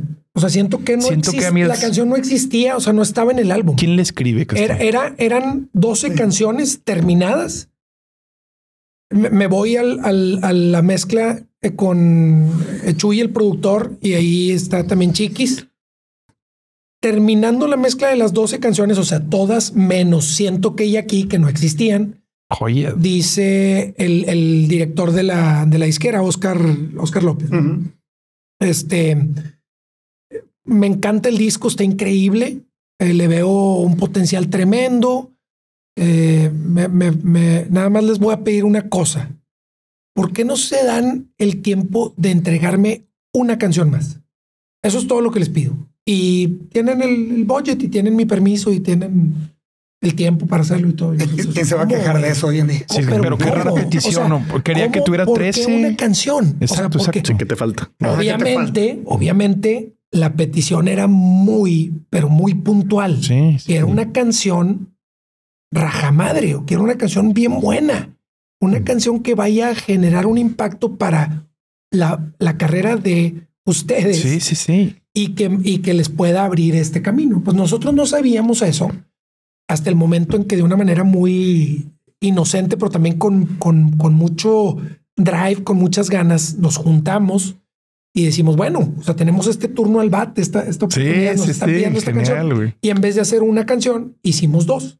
Aquí y siento que... No mames, dos No, más. y le preguntamos, Pero entonces bajo presión ustedes, ¿o sí, no? y le preguntamos loco, a Chuy güey. y a Chiquis, oye, ¿cómo ven? ¿Qué escogemos? Eh, denle las dos. Echa las dos. Las- claro. a hacer las dos. Pero qué interesante que venga de, de un acorralamiento en el, Sí. en el Sí. sentido metafórico de necesito una más y, y bajo Pero es esa que presión nosotros, van y nosotros sacan lo esa joya. como, como sube, te puedes subir al juego otra vez. No, claro. O sea, nosotros es como vamos al estudio otra vez. Venga, Brutal, güey. pero sacan esa Sí, joya. Uno, pe- no sé, hay otros artistas que me vendrían a la mente que dirían, ah, sabes que por cumplirse la mando. O, o me ofende Sí. que incluso si te Sí. puse 12, que son Sí. mi alma, me digas que una está más. completo porque la Y obra está van, terminada. Claro. O que, o hubiéramos agarrado un refrito, que Exacto. hubiéramos agarrado un refrito, y- hubiéramos entregado ahí algo Es, es, que me fascina la historia porque van y sacan la que para mí, digo, No. cada quien tiene su favorito, pero a mí siento que es, es la letra, es, es, es las de referencias que hace, serie Polaroid, güey. Llegas Y a mi casa a ver mis discos viejos, eh, todo eso. Y la verdad es que es una, o sea, es una historia de un par de canciones y, y esta historia de, esta, de estas, estos extras, de estos bonus tracks. La verdad es que es bien, bien inocente. Eso es una historia bien bonito de este lado, porque pues un cuate ya mayor, Oscar, o sea, ya, ya un argentino con todo el colmillo del mundo, súper exitoso, que te, que te planteara esto en una comida ahí, me acuerdo perfecto en, en, en, Miami, diciéndonos, les voy a pedir que me den una canción más. Loco. Una canción nada más es todo lo que necesito. Ok. Y Chiquis y Chuy y yo viéndonos. Ok. Bueno, perfecto. Ok. Y ya llegamos y armamos este plan y este plan fue muy fugaz. Pero aparte O sea, estuvo bien chido porque Nos juntamos con Memo Islas, hicimos un demo de siento que, aterrizamos el de aquí, pum, dale, ensáyala, pruébala. y vámonos a Sonic vez, Ranch. Vámonos a. Sonic Ranch. Es que imagínate, habíamos grabado el disco en Boston. Unos meses antes, pues no, no conocías un estudio ni siquiera de los buenos de aquí de Monterrey. o sea, sí, sí, cuando sí. estás en Boston, en Longview Farm se llamaba el- ese estudio increíble, residencial en las afueras, en la montaña. Y luego llegas y después de la mezcla te dicen, ahora te puedes ir a otro. Y Chudy acababa de conocer Sonic Ranch, que en aquel entonces todavía se llamaba Village Productions, en, en las afueras del Paso, otro lugar impresionante. Lo último que tú decías era poner un pero, era, si tú me dices que haga 20 más, está bien padre, o sea, eh, bueno. está, está increíble. Y, y ese estudio, eh, también luego regresamos ahí en de Ponle Play, en Teleparque regresamos también, Sí. y luego en Alto al Fuego. Pero ahí hacer- se encierran para aquí, siento que, y, y Sí. me intriga mucho, o sea, o sea, ya, ok, necesitamos sacar dos rolas. No, nos La- íbamos al cuarto ensayo. Nos íbamos- yo me acuerdo mucho que Charlie traía la, la- la progresión y empezamos en el cuarto de ensayo a tocar. O sea, eh, era Fue cada saliendo, quien- salió- saliendo. salió de- yo, yo hace cuenta que yo me acuerdo estar en el cuarto de, de- en, en el cuarto de los este, de casa de los papás de Charlie, viendo esta progresión de dos acordes, escribiendo esta historia muy, muy básica de, de vida real de una pareja que tenía este Eddie de esta situación que se estaba viviendo y así, em- o sea, empieza realmente de nada. Empieza de nada y muy expresa. Pero siento que me quieres hoy, siento que mañana ya no. O sea, lo andaba esta lentejeando. inde- Sí, esta indecisión. Qué chulada, por fin ahí le puse así de, Sí. lo andaba peluceando, o sea, de que sí, un Hoy sí, día, hoy Sí hoy quiero no. que no estoy pero no segura. estoy sí, segura. De eso se trata. Nah, hombre, hermano, Claro. qué chulada que No, Sí, esto. es una, es una. Sí, una y, y si tú ves la producción de Chuy, ahorita que dices, porque no pasaba por ningún momento, el vamos a hacerla para cumplir. O sea, el, el- el hacer el loopcito del principio con un sonido, todo. No, no. Este, yo, por ejemplo, recuerdo con el mismo cariño estar en Sonic Ranch que estar en Boston. O sea, no había ningún. No, no. para claro. nada como presión, una discusión larga. Por ejemplo, siento que tenía un solo de guitarra donde hay dos notas este, saliendo, saliendo del puente. Ajá. No, antes del puente. Eh, y, y, y Chuy, dame un solo más sencillo, que esté melódico, que lo pueda cantar. Y empezó como que, y yo, pues te doy una o dos notas. A ver.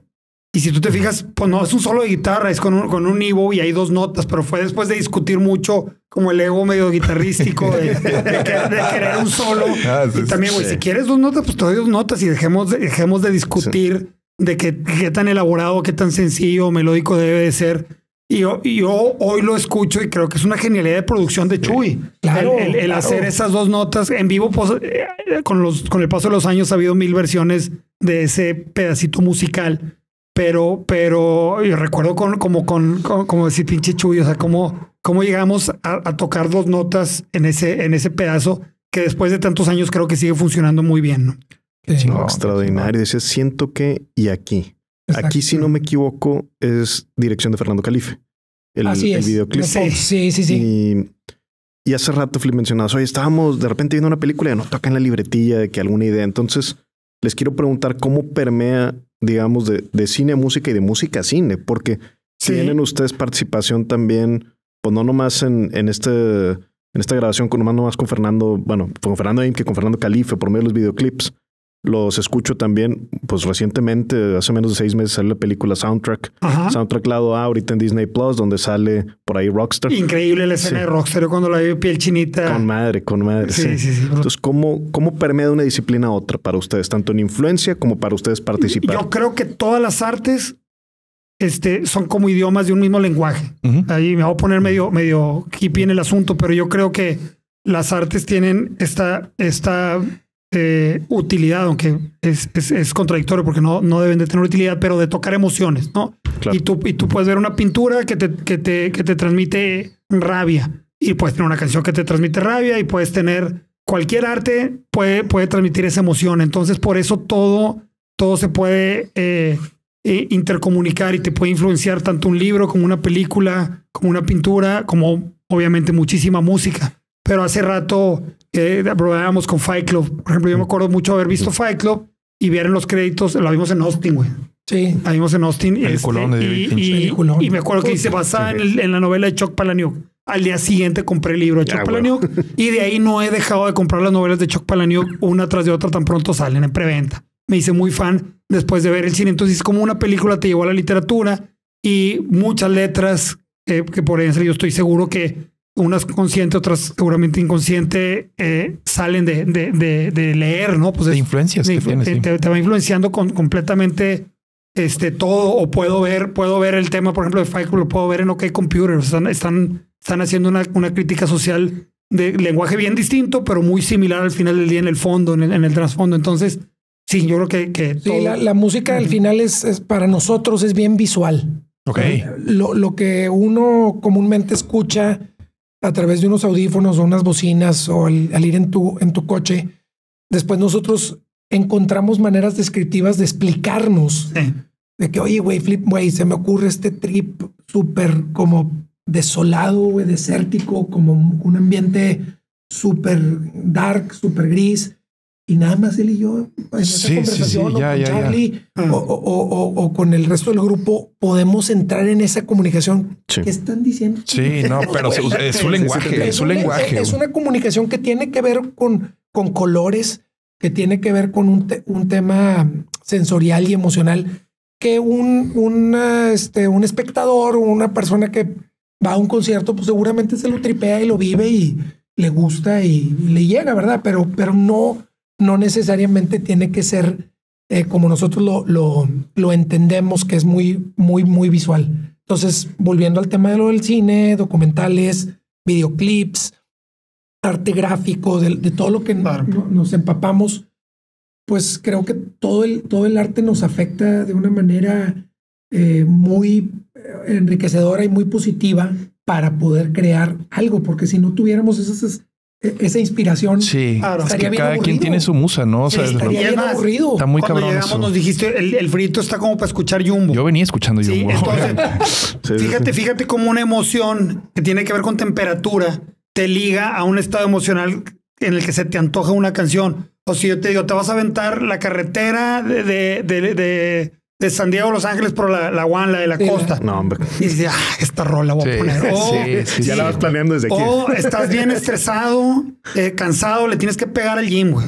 Pon que audífonos. Dices, no, pues déjame le pego esta rola porque sé que me va a tirar esa adrenalina. O sea, por eso la música tiene esa característica de ser soundtrack también de nuestras vidas, porque vamos escogiendo las emociones que, sí pulsa botones. Yo creo que metafóricamente las canciones son, son oprimen botones. Yo te has dado cuenta cuando viajamos en carretera, ahora que hacemos muchas giras por la comedia. Eh, a mí no sé por qué me entra en carretera esta onda de escuchar música de los noventas, porque siento que estoy dejando algo atrás. Entonces es una melancolía de cada que volteo hacia el vidrio y veo que se está quedando atrás el camino y en, una especie de, de estas fotos a estéril que se ven desenfocadas.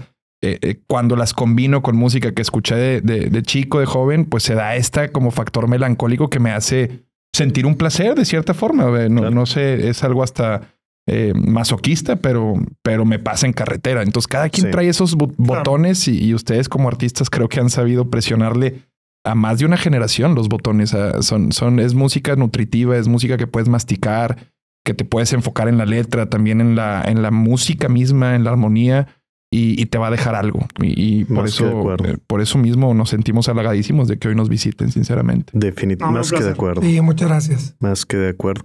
Además de, de influencias también de cine, pues yo siempre pienso que están los maestros. Y en el caso de ustedes, veo no nada más que tienen los maestros, sino tienen los tributos.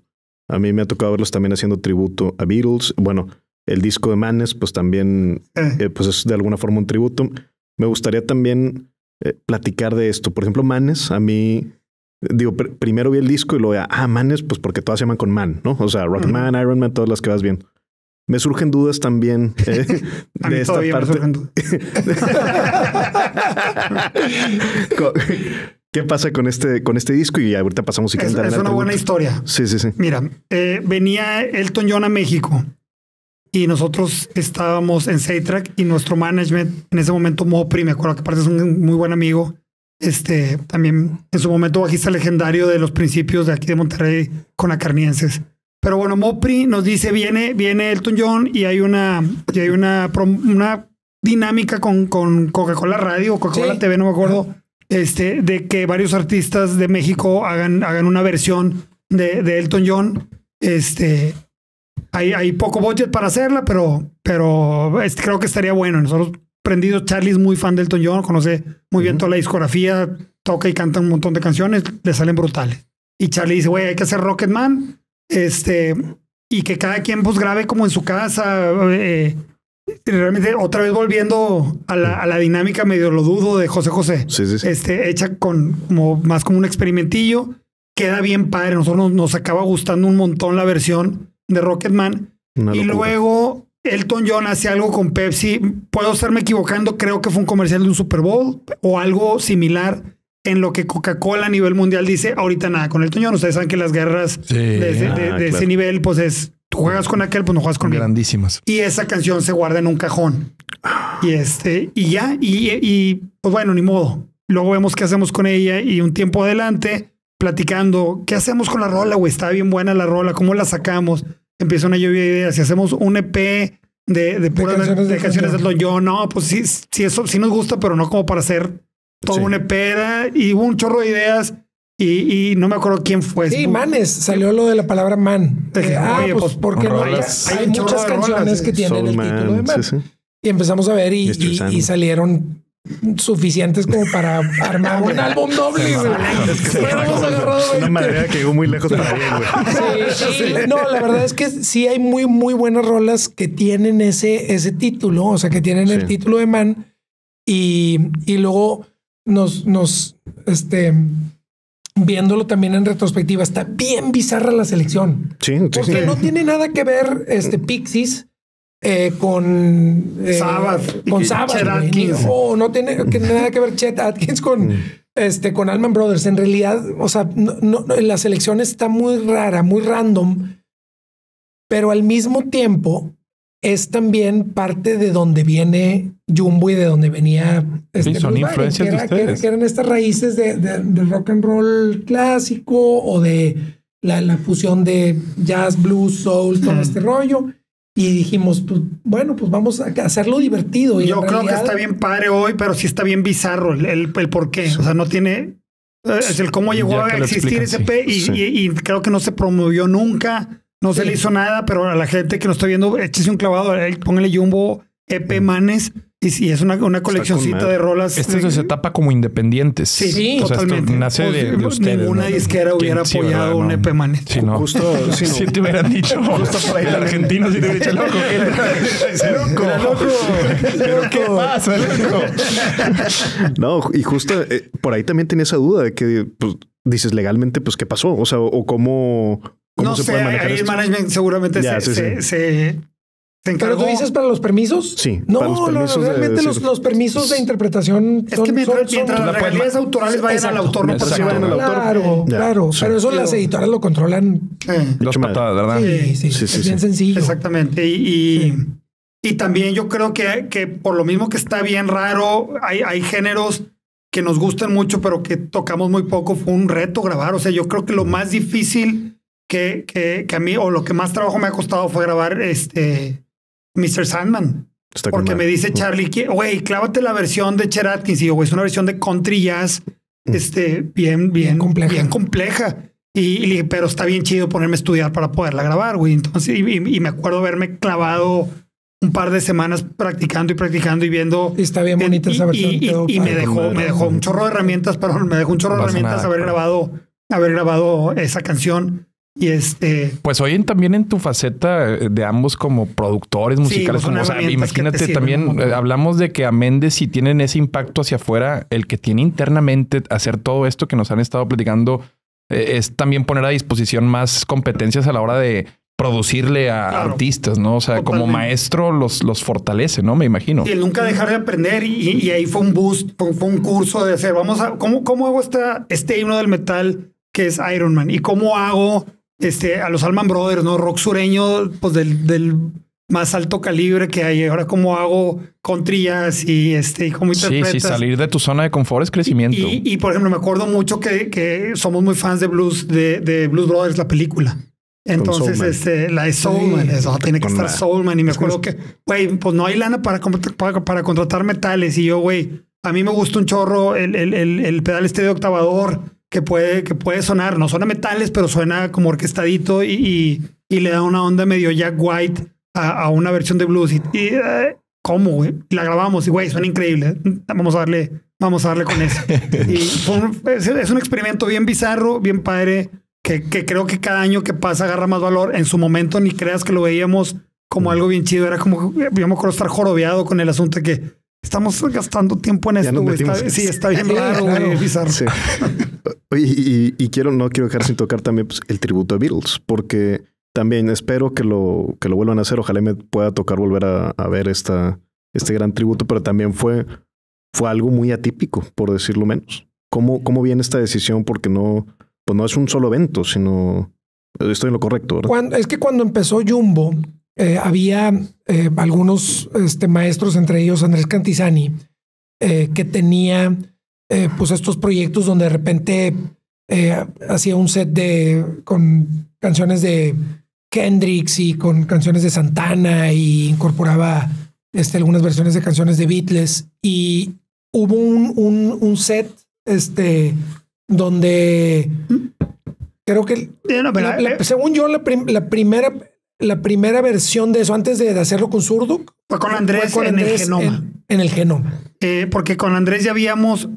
eh, Eddie y Vox ya habían tocado con Andrés un montón de años antes. De hecho, creo que Vox va- a Playa del Carmen con Andrés y se queda a vivir allá. Y este, y como dice Castillo, pues un, un maestro y una escuelota a tocar con él. Y habíamos hecho esto de jukeboxers, que es tocar covers, mucha improvisación de la que hablábamos hace rato de, Sí. de blues y tal. Y tocábamos mucho en el Nirvana. Y, y Reinaldo y Jorge, este, habí- habían, les habían dado la tarea, según recuerdo, de, de como armar el bar de este restaurante en calzada del Valle Genoma, que existía Ajá, en ajá. aquellos años. Y ellos nos lo piden. Oye, hagan un jukeboxers, pero de puras rolas de los Beatles. Ya. Y este, y ese fue el primero. Y, y después eh, armamos una fiesta ya con, con Chetes y Mauricio de Ujú. en, el, en un restaurante eh, venue que De la tenía mamá la de- mamá de, de Terracina en, en la Huasteca, que se llamaba Terra Luna. Te- Terra Luna. Mm. Entonces el Tierra Luna era un, era un restaurante, pero tenía un venue enfrente, como Un una salón de especie, como un eventos. salón de eventos. Entonces ahí, ah, no, pues vamos a armar ahí el show. Fue un exitazo, así un soldado Trancazo. bien raro, porque obviamente, pues mucha gente se entera de que íbamos a estar juntos, Jumbo y Zurdo, haciendo esto. Y ya fue un, un muy buen evento. Sí, Y de ahí se Este- convirtió en el peor enemigo de todos los managers. Porque nosotros Sí. disfrutábamos mucho hacerlo. Una vez al año. O sea, decíamos, vamos a hacerlo una vez al año. Una vez al año. Una vez O al algo año bien especial. local. Y eso no le gustaba a los managers porque, no, porque los, los managers decían, de... los managers decían, este, o el punto del- de todos los managers, y coincidieron todos los managers, que nos veíamos mal haciendo covers. O sea, como, como si Ya, que les quitaba un poco de prestigio. Sí, si tú ves, tú ves un, quieres pre- eh, presentarte como un artista con tu, con tu obra y luego te, te- te pones a tocar covers, la gente se va a confundir Sí. y te ve como un grupo eh, que hace covers en bares huesero que entreteniendo Sí, como borrachos. to- eso es lo que le pasaba, le pasa a Nicho Hinojosa, que el tipo, a pesar de que tiene una voz que a mí, amén de que sean covers, pues eh, hay gente que no termina de darle, y a muchos que, que que tocan covers, lo, lo cual no entiendo porque Yo también es una porque también forma. hay- hay- hay- Es válido. Es muy, no, solo válido, Castillo, Sí. sino, o sea, Es bien es- rico. exactamente. o sea, Exacto. como la, rico, sí, la sí. interpretación y cómo cada quien apropia otra canción y le da su estilo, Ay, también es lo que hace que sea y única. José era Sí. intérprete, Luis Miguel es intérprete. O sea, Sí, no- y, y muchas veces, entre más decíamos que no podíamos porque no queríamos ir en contra del manager, ma- haz de cuenta que más no lo pedían. Entonces, este, y más no lo pedían. Y hubo, hubo años donde lo hicimos mucho y, y un poco también por darle la contra al manager de que, güey, pues si no quieres que lo haga, ocúpame todos los días o hazme una gira más extensa. Dame chamba. Sí, teníamos eh, todo esto y luego muchos años, bueno, no muchos años, pero al principio sí hubo un buen consurdo y luego ya no lo quedamos nosotros haciéndolo y luego Chetes se Invitábamos integró. de repente a algunos amigos este, a que cantaran un par de canciones y, y- y si había alguno que, que, se- eh, que fuera distinto como el del Teatro de la Ciudad, que Sí. hicimos con metales, Sí, es cierto. ¿te acuerdas? Este, Pero si no, nos- nunca lo llevamos a DF por lo mismo. hasta, pues hasta mucho tiempo después se me hace que sí, sí lo Sí, lo hicimos en DF. se me hace que lo llegamos a Y, y hacer luego lo hicimos, vez. o sea, al que siempre le decíamos que sí porque no se metía con esa petición del manager, era como cumpleaños, bodas, cosas de ese tipo, porque pues no, no se publicitan. Y el, y, Claro. pues el manager o no se enteraba o no le importaba tanto. Pero, pero tanto el, el Monterrey Bill Collective, que se acabó llamando ya desde hace muchos años así, como el mismo Jukeboxers, que fue de donde salió, este, los disfrutamos un montón. Y el Jukeboxers, pues es, es Jumbo haciendo covers de todas las épocas. Sí. Está un poco regresando al Blueswagen y metiéndole también alternativo y, y lo que se nos pegue un poco la gana cuando lo hacemos. Y es bien divertido porque obviamente las canciones de Jumbo siempre les buscamos qué hacerles para que nunca caer en la monotonía. O sea, siempre le, le varías un poquito, le haces un arreglo nuevo, pero subirte a tocar canciones, primero que tengan el, el elemento de improvisación, este es una, pues es un- Sí. una gozadera brutal en el sí. escenario. Y este, pero sí, siempre, siempre, o sea, en 25 años de hacerlo, nunca hubo un está bien padre dense. Siempre, oye, No. vamos a hacer esto. No, güey, bueno, que, que no salga así. Bueno, que no pongan el nombre de Jumbo en el póster, porque luego también el que lo contrata para hacerlo pone Monterrey Collective de Jumbo. Jumbo. Para Sí, que se venda. Sí, yo- sí, Claro, y sí entiendo, claro. sí, eso sí lo puedo entender que el La manager, marca es muy sí. pesada, la verdad. Este, sí. pero lo que tiene de divertido y de chido lo ha tenido de conflictivo con, con el No. team siempre. Ojalá que, que me toque volver a escucharlos. A mí me encantó. Los vi en el Teatro de la Ciudad, precisamente. Ah, Hace Duda, la- siete años. Perdón que te interrumpa, hermano. El, el- eh, esto, el, el grupo es suyo o es de la disquera? El nombre del grupo no, es nuestro. es, No, es de nuestro. ustedes, ¿verdad? Sí, en no. ese sentido, mm, siempre los vamos a ver como Jumbo, ¿verdad? Sí, sí. O el gigante de América, No, es no. posible. JM, JM. Ay, no, no, no, me gustaría, ¿verdad? Pero sí, pero sí no, en eso estamos. No, no, y, y- y cuando dices quién es dueño, no solo, no solo es el nombre, a veces es la estructura. Y si nosotros podemos este, seguir contratando los servicios de quien queramos y nosotros este, ser Jumbo todo el tiempo que queramos.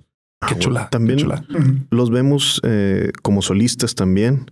Yo igual, Castillo, te, te soy sincero, yo cuando supe que ya se fue a este en Austin y te veo con haciendo música, me encanta, fantasmas, Doom Doom, no sabes la cantidad de veces que le he escuchado, así muchísimo y, y te veo también activo, ahora te veo conduciendo eh, Diamantes en el mapa, Diamante en el mapa, Ajá. este...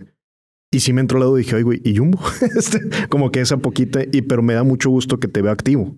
Lo que te quiero preguntar es cómo manejar de forma asincrónica y geográficamente lejos de, de los demás integrantes. Sabes que nunca ha habido una, una pausa tan larga como la que tuvimos de tres años, que fue bien, la verdad, pues bien dolorosa y bien confusa. Este, yo, yo, este, empezando por este tema de, de tomar una decisión bien difícil en pandemia, de decir, este, eh, me acuerdo una, una, un- varias conversaciones con Flippy de decir, yo en este momento no, no, no, no, este, no puedo continuar. Ujú. Este, con, nos cancelaron 17 shows.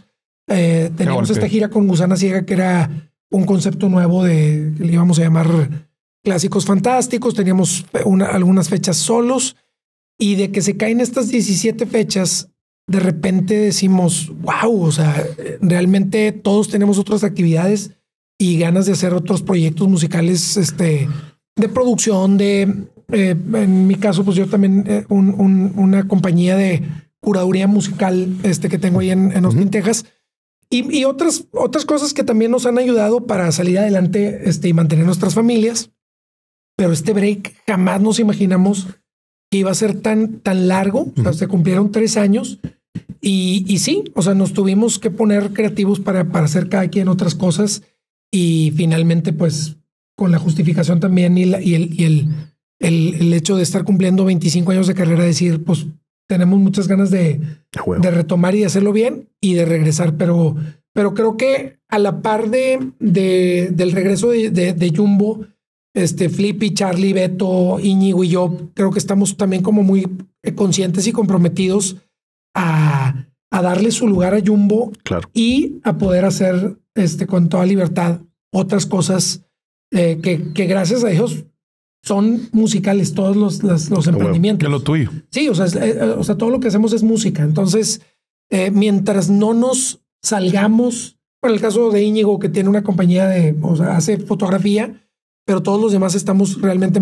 este, eh, involucrados con, con, con, el tema musical. Y creo que da, o sea, hay, hay tiempo para organizar bien todo. Este, si viene una gira de Jumbo, que ahorita estamos planeando para 2024, pues tenemos que reservar ese tiempo claro. para saber que, que, vamos a viajar y que vamos a hacer este, pues esa, esas, esas dos fases en abril y en agosto este, de viajar por Estados Unidos para, para, para dedicarse no, a Jumbo. Qué chingón, qué chingón poder eh, estar empujando, como dices, en, en distintos frentes y también, pues a todos nos gustan también escucharlos en sus otros proyectos, más allá de Jumbo, verlos en sus otras sí. apariciones. Entonces, está bien chingón eso y, y me quedo también pues con, hace rato nos mencionaron en la plática la posibilidad a lo mejor de un lugar para volver a, a meterse a componer, a grabar. Ojalá y, y vengan nuevas composiciones de, de, Jumbo, pues ya asumo no nos pueden adelantar aquí, pero pues eh, con todo mi deseo de que sea estaremos. Sí, ojalá en esta gira sí. les vuelva a doler la panza y los Sí. cuadritos. Pero ahora por la edad, cabrón. ahora, ahora por- ahora va a ser por la edad, no por la risa, güey. Y, y nada, los más beneficiados, eh, aunque suene un poco frío, digo, chinga, pues somos los, los fans, hombre, que ya también después poner historias a lo que escuchamos y ponerle esto, esta profundidad hace que también te encariñes con la persona, no solo con el artista y, y bueno, qué chingón. No, hombre, agradecidísimos y honrados de que, de que hayan tenido tiempo para venir a este espacio. Y pues no nos vamos sin el DeLorean. ¿Te El parece? DeLorean me gustaría. El ¿dónde los DeLorean, donde metafóricamente ahí se suben al DeLorean y viajan al pasado a darse un consejo a ustedes mismos. Entonces, me parece bien. ¿Antes de que firmen o qué? Yo decía antes de que vayan a, no sé si subirse al carro, al avión o cómo empieza la, la gira de Odisea. Es correcto. Este, entonces, que si ahorita pudieran viajar a esa época, ¿qué le hacía falta escuchar a ese flip, a ese castillo? Pues es que yo creo que si le, si le doy el consejo ahorita a los 50 años a ese güey, no se lo hubiera pasado tan chido, pero yo, yo creo que... No, no te digas nada, a lo mejor. No, no, Dale, vienen cosas haría, buenas. este, ponle más atención a la parte del business, no te dejes ir por gusto. O sea, creo que los músicos estamos dispuestos hasta pagar por lo que hacemos porque realmente no tenemos, no tenemos, déjate los músicos, los artistas, o sea, no, no lo haces por el dinero. El dinero Pasión. es una consecuencia eh, que, la, que te preocupa cuando te hace falta, pero realmente creo que vale mucho la pena el decir, si se está generando algo, échale ojo, échale ojo nada más para que todo esté justo, bien y claro. Y por otro lado, toma un poquito menos, un poquito, nada más para que te acuerdes de más. Para que lo puedas disfrutar en los siguientes Para que años. te acuerdes de más, porque ya no había redes sociales, no hay celular, no hay nada. Sí, sí, Entonces, Toma más fotos mejor, güey. Sigue tomando, pero toma fotos Este, también. estuvo bien. Tampoco era que fuéramos los más de Brayes, pero, pero sí, o sea, No, no eran Motley Crue, ¿verdad? Pero, exactamente, pero, pero una rayita, una rayita menos hubiera estado tal vez este me- mejores los recuerdos más vividos. Ah. Ah, y por acá. Yo, en mi caso, creo que eh, nos tocó vivir, o sea, ser bien afortunados de tener estas grandes, grandes oportunidades que se nos presentaron y que las tomamos y que las supimos aprovechar. Pero también creo que nos costó muchos años entender muchas cosas muy puntuales este, a tiempo. O sea, y en mi caso muy particular, yo le diría al castillo, este, antes de subirse al, al, al bus de, de Odisea Ujú. o al, o al- al inicio de la carrera, que hubiera tenido esta, eh, esta eh, claridad o esta flexibilidad pa- para entender algunas de las cosas que sí eran bien valiosas y bien importantes que por terquedad y por eh, sí, o sea, por ser muy, muy tercos y también muy inmaduros, no lo comprendíamos. ¿Cómo cuál es Castillo? Eh, eh, justo esto que te platicamos acerca de cómo nos empeñábamos tanto en cambiar en pro de ser, eh, eh, en, en- en tratar de retarnos a ver una evolución este, que no nos correspondía porque estábamos en un territorio que no era Inglaterra. O sea, no estábamos en Seattle, no, no éramos este, ni Pearl Jam ni Radiohead, éramos Jumbo en Monterrey, Nuevo León.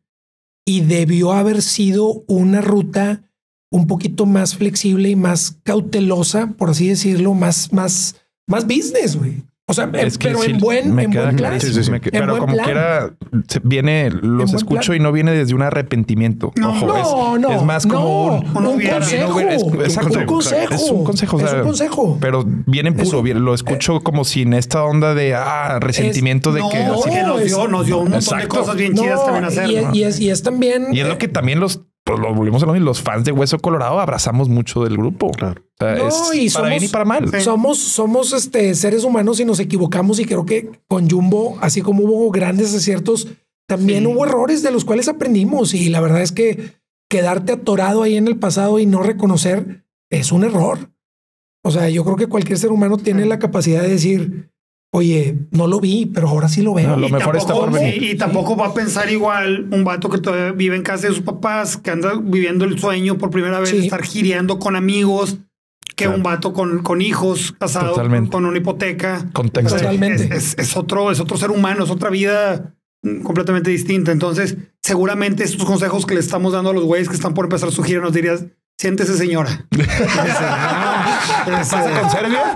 ¿Te pasa con Serbia? Sí, o sea, con todos, ¿no? Con ellos y con todas las bandas nuevas. O sea, Pero eh, pues eh, tienen que toparse ellos con pared para Sí, que les son entre el consejo, ¿no? Es una generación además que yo estoy convencido que, que le tiene mucho menos oído abierto a, a lo anterior. Nosotros sí, sí escuchábamos un Sí. chorro lo que pasaba antes. Oye, ¿cómo estaba? Ahora yo, generalizando que no se debe, siento que el músico de hoy este, mm, es bien difícil que escuche consejo porque, porque dicen, no, hombre, güey, en tu, en tu niveles tenías. Yo sé que si posteo a las seis y pongo esto y hago un story, pongo la pregunta así, puede ser un exitosísimo. Y Es que sí, cambiaron las reglas del juego, pero la esencia sigue siendo la misma. Sería Alguna- estúpido no escuchar a alguien que ya.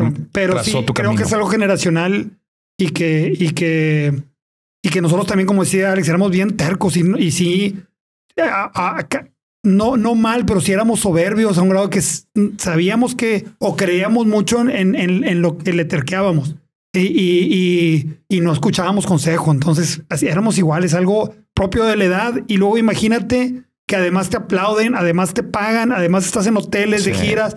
Ahora hasta te tiran la onda, güey. Este, entonces, sí. entonces es bien difícil manejar un montón de cosas. Este, que lo último que haces es decir que, que me estás hablando, estoy en la cima del mundo, vato. Ya. Este, pero eh, salimos bien. No, no.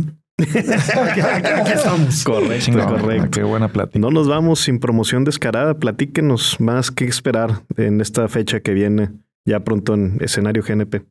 Pues es un show bien, bien importante para nosotros. Es el primero eh, del 2024 y además en nuestra, eh, en, la, la- en nuestra cuna, en el- la ciudad que nos vio nacer y, y donde también entendemos que aunque yo físicamente este, esté en Texas, pues aquí es donde, donde está, donde están mis raíces, donde está mi familia y, y donde, donde Jumbo siempre ha este, este, pertenecido. O sea, creo que Sí, Monterrey Nuevo Jumbo es- suena a Monterrey. Sí, Jumbo es Monterrey.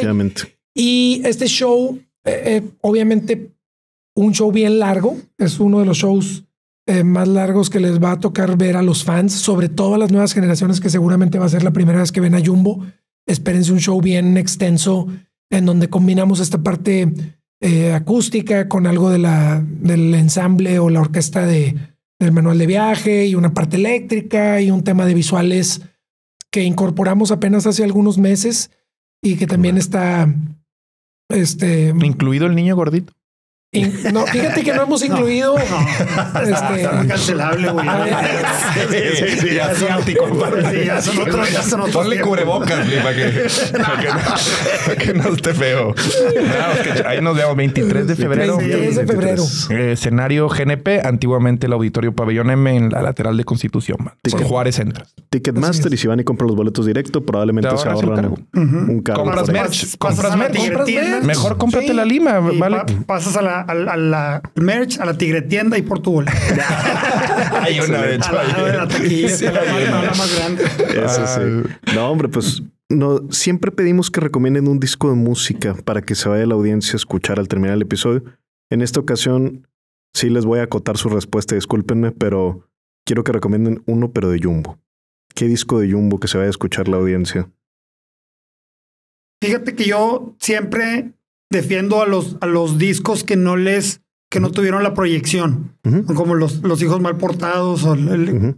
que porque no es que me gusten más los que les fue mejor o menos los que les fue peor. Yo creo que Sí, sí, sí. fueron momentos y fueron trabajos, así que yo les recomiendo mucho Superficie y Alfabeta Grey. Perfecto. Y yo recomendaría Manual de Viaje a un lugar lejano porque es un proyecto eh, que para nosotros representó también un, un, un buen reto en la carrera, Sí. poder meternos a un estudio formal y con un ensamble de, éramos 14 músicos, 14 Sí. o 15 músicos, y esta puesta en escena compleja donde no, no es una antología ni tampoco un grandes éxitos, pero es un recuento de entonces podría ser una muy buena introducción a, a Jumbo. Este Perfecto, Manuel excelente. Viaje es buen, es buen, buen álbum. Perfecto. Nos vamos con Manual de Viaje a un lugar lejano, Superficie y también Alfabeta Grey. Nos vamos con esos tres y pues agradecerles una vez más haber estado aquí. Por hoy es todo, compadre. Siento que ha sido el mejor, uno de los mejores No, podcasts. me No, neta, gracias por invitarnos. Siento Este, yo, yo soy fan del podcast, también los felicito No, por todo lo Gracias, que hacen. Felipe, gracias. Este, todos los contenidos juntos y separados. Muchísimas gracias, Muchas Felipe. felicidades. Gracias, Ah, Castillo, huevo. y gracias a toda la banda que aquí Sí. estuvo. Nos vemos pronto, nos vemos más y les agradezco. Por hoy es todo, compadre. Es todo, compadre. Es todo, compadre. Nos vamos.